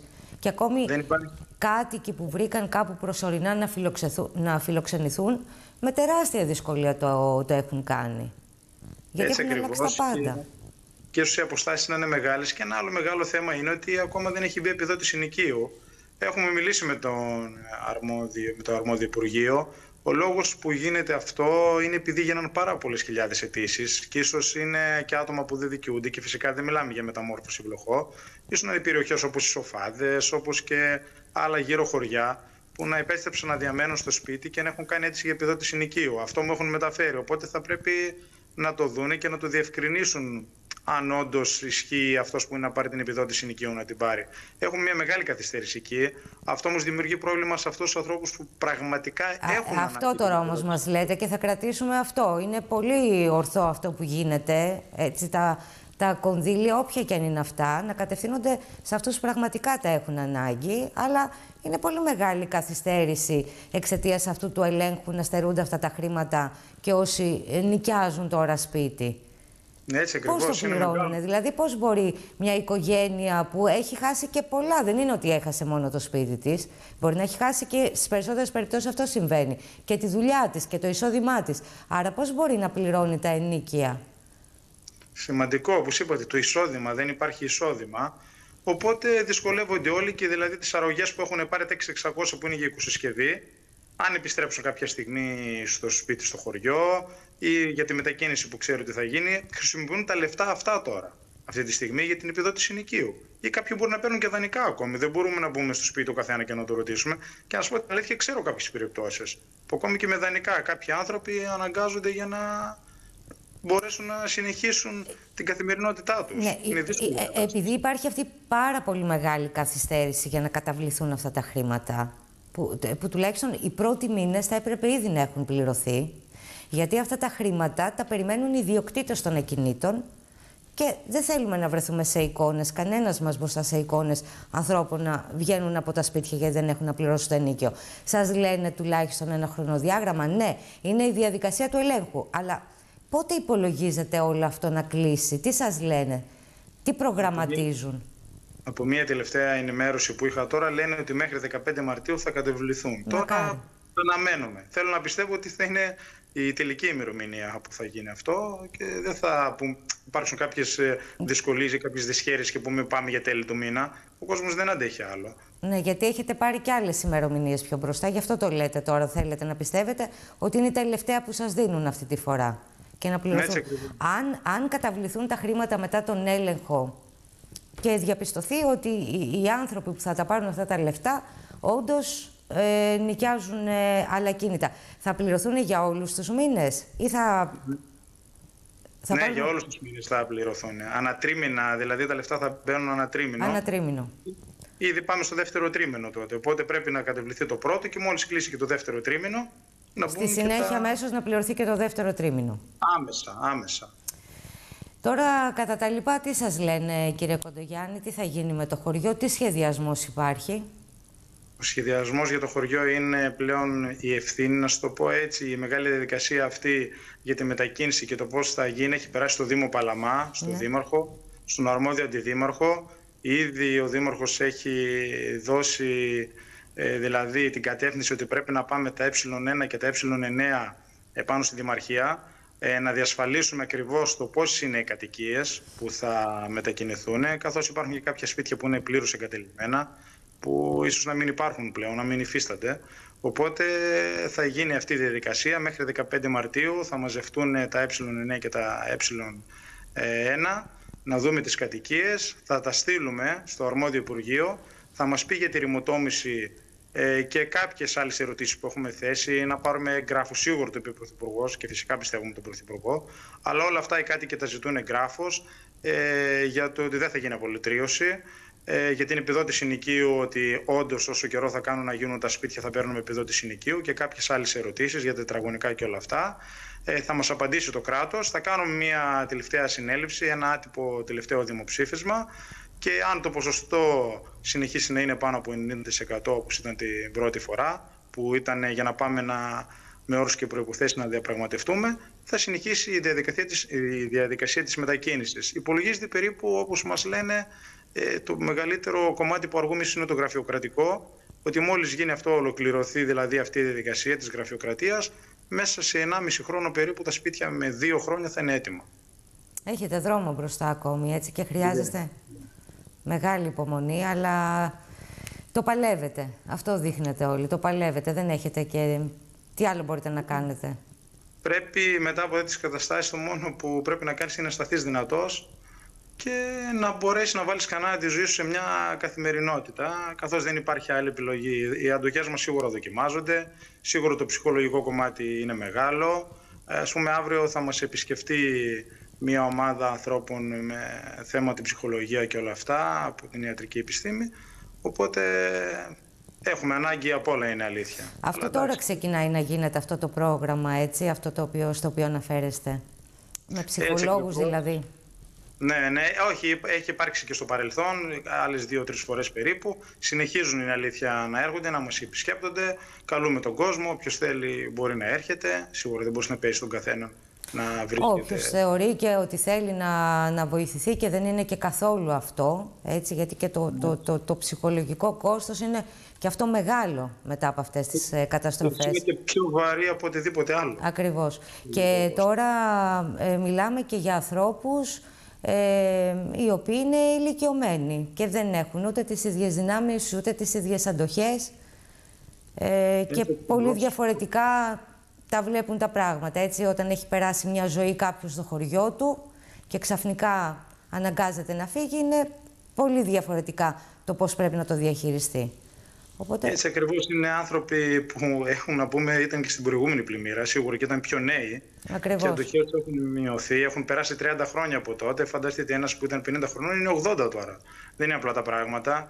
Και υπάρχουν και κάποιοι που ήταν πολύ μικροί που είχαν ζήσει και την πρώτη πλημμύρα, μικρή να πούμε την αλήθεια τότε από αυτά που μου έχουν μεταφέρει, το 53. Οπότε φανταστείτε πόσο δύσκολη είναι η κατάσταση να το ξαναζήσουν, αλλά και πόσο δύσκολη είναι να αποχωριστούν το μέρος τους. Όμως σίγουρα μετά από αυτό που συνέβη στο χωριό μας, που θρυνήσαμε και δύο θύματα, δεν πιστεύω ότι έχουμε και πολλές επιλογές. Θα πρέπει πρώτα να σκεφτούμε την ανθρώπινη ζωή. Ακριβώς. Ε, σίγουρα όμως με όρους και προποθέσει που θέσαμε, με σημαντικό ότι το χωριό μας θα παραμείνει να είναι λειτουργικό, αλλά αν ξανακινδυνεύσουμε, δεν θα βρεθούμε στη δινή θέση, δηλαδή ε, να είμαστε μέσα στο χωριό, θα μπορούμε να φύγουμε. Ε, έχει το δικαίωμα, όποιος θέλει καταρχήν, να παραμείνει, να μείνει στο χωριό. Αλλά όταν έχει μία οικία που όχι για ασφάλεια θα μπορεί να χρησιμοποιεί μόνο για τους καλοκαιρινούς μήνες πιο πολύ και τους χειμερινούς αν χρειαστεί, για τις εργασίες, για τις δουλειές του, καθώς τα οικόπεδα θα είναι στο χωριό μας, τα μηχανήματα θα είναι στο χωριό μας. Απλά διασφαλίζει την ανθρώπινη ζωή και ότι δεν θα βρεθεί στον δρόμο όπως βρεθήκαμε αυτή τη φορά. Ακριβώς. Σας ευχαριστώ πάρα πολύ, κύριε Κοντογιάννη. Ευχαριστώ και ειλικρινά ευχόμαστε να, ε, να έρθουν γρήγορα τα αποτελέσματα. Κυρίως ε, τώρα, στην παρούσα φάση, να το πούμε άλλη μια φορά, μέχρι τις 15 Μαρτίου αυτή η προθεσμία η νεότερη που σας έχουν δώσει ώστε να κλείσει οριστικά το θέμα με, το, με την επιδότηση ενοικίου να, να το δούμε, να τα ακούσουμε, να γίνει πράξη τώρα γιατί έχουν στενέψει πάρα πολύ τα περιθώρια για πολλούς. Σας ευχαριστώ πάρα πολύ. Καλή συνέχεια, καλή δύναμη. Να είστε καλά κι εσείς. Λοιπόν, ελάτε τώρα να κλείσουμε σε αυτό το σημείο, κυρίες και κύριοι, με ένα πραγματικά πολύ ενδιαφέρον θέμα. Γιατί στη Σκιάθο, χθες Κυριακή 3 ε, Μαρτίου, βρέθηκαν η σκηνοθέτης Εύα Νάθενα και η πρωταγωνίστρια της ε, φόνης σας, η κυρία Καριοφιλιά Καραμπέτη, ήταν προσκεκλημένες του Δήμου ε, Σκιάθου και της Αντιδημαρχίας Πολιτισμού του Δήμου Σκιάθου με αφορμή την ε, προβολή της ταινίας της ε, φόνης σας, μιας καταπληκτικής ε, ταινίας, στην, ε, στην αίθουσα στο Μπούρτζι. Τώρα, είναι μια ταινία που προβάλλεται και δυστυχώς στη Μαγνησία, δυστυχώς στο Βόλο, οι κάτοικοι δεν έχουν τη δυνατότητα να την ε, παρακολουθήσουν, γιατί ως γνωστό μετά τις πλημμύρες ο Βόλος δεν διαθέτει καμία, μα καμία κινηματογραφική αίθουσα ε, και κάποια στιγμή και αυτό πρέπει να ε, το δούμε. Ωστόσο, αυτή η προβολή έγινε στη Σκιάθο. Ο Νίκος Οτζούμας έχει το ρεπορτάζ και έχει και τις αποκλειστικές ε, δηλώσεις και από τη σκηνοθέτητα, την Εύα την Άθενα, αλλά και από την ε, κυρία Καριοφιλιά Καραμπέτη. Πάμε να το παρακολουθήσουμε. Τα διαχρονικά μηνύματα που υπογραμμίζονται με σαφήνεια και αποτυπώνουν με σκληρό τρόπο την ομοτελειακή κακοποίηση υποτίμηση της γυναίκας στο πέρασμα των αιώνων, δίχως εξάρσεις και με απλά εργαλεία, η Φώνησα καταγράφει με αμεσότητα τον σκοταδισμό της πατριαρχικής κοινωνίας που θεωρεί κατάρα τη γέννηση ενός κοριτσιού ή την αναγκαιότητα της πρίκας, θεσμός που καταργήθηκε το 1983. Μέσα από την καταγραφή ενός κόσμου που ζει σε συνθήκες απίστευτης φτώχειας, η απόδοση του δράματος της Φραγκογιανού δεν αφορά μόνο στη δεαιώνιση μιας απίστευτης αδικίας κατά των γυναικών, αλλά σκιτσάρει διεξοδικά το πρόσωπο της φρίκης που προέρχεται από τη θρησκευτική παράνοια, την ψυχολογική και σωματική κακοποίηση και κυρίως τη συλλογική ενοχή. Την Κυριακή 3 Μαρτίου, στην κατάμεστη αίθουσα από κόσμο, στο πολιτιστικό κέντρο του Μπούρτζη στη Σκιάθο, η Φραγκογιανού επέστρεψε στο σπίτι της, μέσα από το εμβληματικό έργο του Αλέξανδρου Παπαδιαμάντη. Αν και οι προβολές του Δήμου Σκιάθου και της Αντιδημαρχίας Πολιτισμού ήταν προγραμματισμένες για δύο, τελικά πραγματοποιήθηκε και η τρίτη, αναγκαίο καλό, από την προσέλευση του κόσμου. Η σκηνοθέτης του έργου, κυρία Εύα Νάθενα, η πρωταγωνίστρια κυρία Καριοφιλιά Καραμπέτη και ο Δήμαρχος Σκιάθου μίλησαν αποκλειστικά στην κάμερα του Άστρα, ενώ η πρώτη, κατά την ομιλία της στο κοινό, αναφέρθηκε και στο μεγάλο ερώτημα γιατί η ταινία δεν γυρίστηκε στη Σκιάθο. Στο νησί του Παπαδιαμάντη. Διαφορετικό το, το νησί του Παπαδιαμάντη επιτέλους, αν και εγώ ζούσα νο, νοερά εδώ, νοητά πολλά χρόνια. Αλλά ναι, επιτέλους κάναμε αυτοψία στα μέρη και είμαστε πολύ συγκινημένοι και εγώ και η καρδιοφιλιά. Μεγάλη μας τιμή και μεγάλη μας χαρά που είμαστε εδώ σήμερα επιτέλους. Το περιμέναμε πώς και πώς και βρήκαμε πια την ευκαιρία. Ε, είναι μεγάλη η συγκίνηση πραγματικά και ε, είμαστε πολύ περίεργες να δούμε και την, ε, τις αντιδράσεις του κόσμου εδώ και στις δύο προβολές. Πόσο δύσκολο ήταν η φώνησα σε σχέση και σε συνάρτηση με, τα, με τους άλλους ρόλους που είχατε όλα αυτά; Από τα πιο δύσκολα πράγματα που έχω κάνει γιατί είναι ακριβώς ένας εμβληματικός χαρακτήρας, είναι από τους πιο σημαντικούς ρόλους ε, της ελληνικής λογοτεχνίας και μία γυναίκα η οποία σκοτώνει μωρά παιδιά αλλά θεωρεί ότι αυτό το κάνει ε, σαν δώρο ε, λυτρώνοντάς τα από μια κακοποιημένη ζωή ε, Πολύ αντιφατικά πράγματα, πολύ δύσκολα, αλλά με την καθοδήγηση εδώ της Εύας νομίζω ότι κάναμε μια δουλειά που αν μη τι άλλο ο κόσμος πραγματικά επικοινώνησε μαζί της και κατάλαβε τα μηνύματα πίσω από, ε, από τη δουλειά μας και αυτά που θέλαμε να πούμε. Να ευχαριστήσουμε την κυρία Νάθανα και την κυρία Καραπέτη ε, που αποδέχτηκαν την πρόσκληση. Περνάνε στα χρονικά πια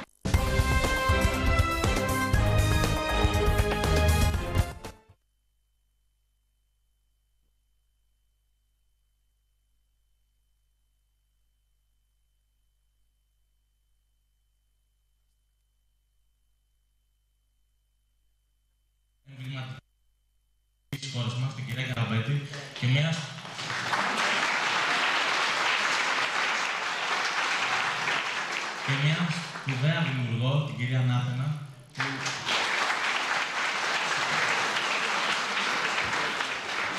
μέσα από την ταινία αυτή απέδωσαν στην ουσία στο σύγχρονο ελληνικό πολιτισμό μια ταινία παρακαταθήκη, παρακαταθήκη για όλους μας. Εγώ να ευχαριστήσω την Εύα για το γεγονός ότι μου εμπιστεύτηκε αυτόν τον εμβληματικό ρόλο.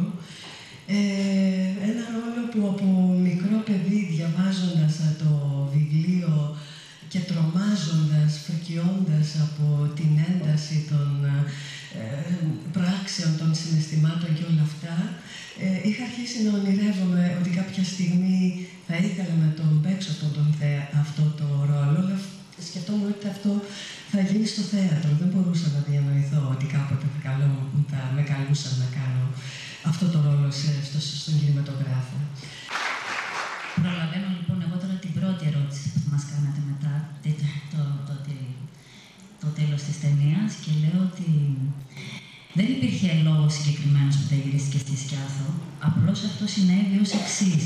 Εγώ από μικρή, όπως λέει και η φιλιά, πολύ μικρή που διάβασα το βιβλίο, ε, είχα ταυτόχρονα ένα, μια τάση για φυγή, γιατί τρόμαξα πολύ, και μια έντονη έλξη. Στην πραγματικότητα, ως ενήλικη, μετά τα 16 που το πρώτο διάβασα στο σχολείο, ε, κατάλαβα ότι συνδέομαι με αυτό το αφήγημα τόσο πολύ, γιατί μου είναι οικίες όχι οι πράξεις, αλλά τα τραύματα της Φραγκογιανού. Και όχι ως δικά μου τραύματα, αλλά της μητέρας μου.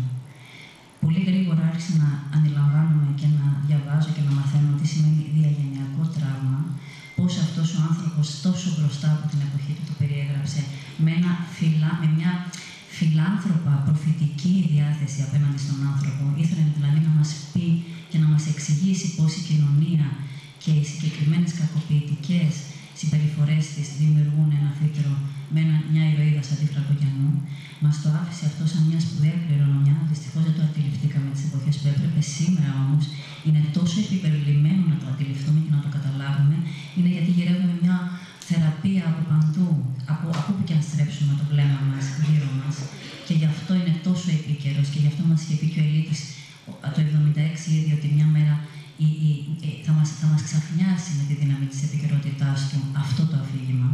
Η ταινία ανήκει σε όλους, δεν έχει αντοπιότητα, ανήκει σε όλους μας που έχουμε πάρει από τον Παπαδιαμάντη και έχουμε οικειοποιηθεί ένα κομμάτι του.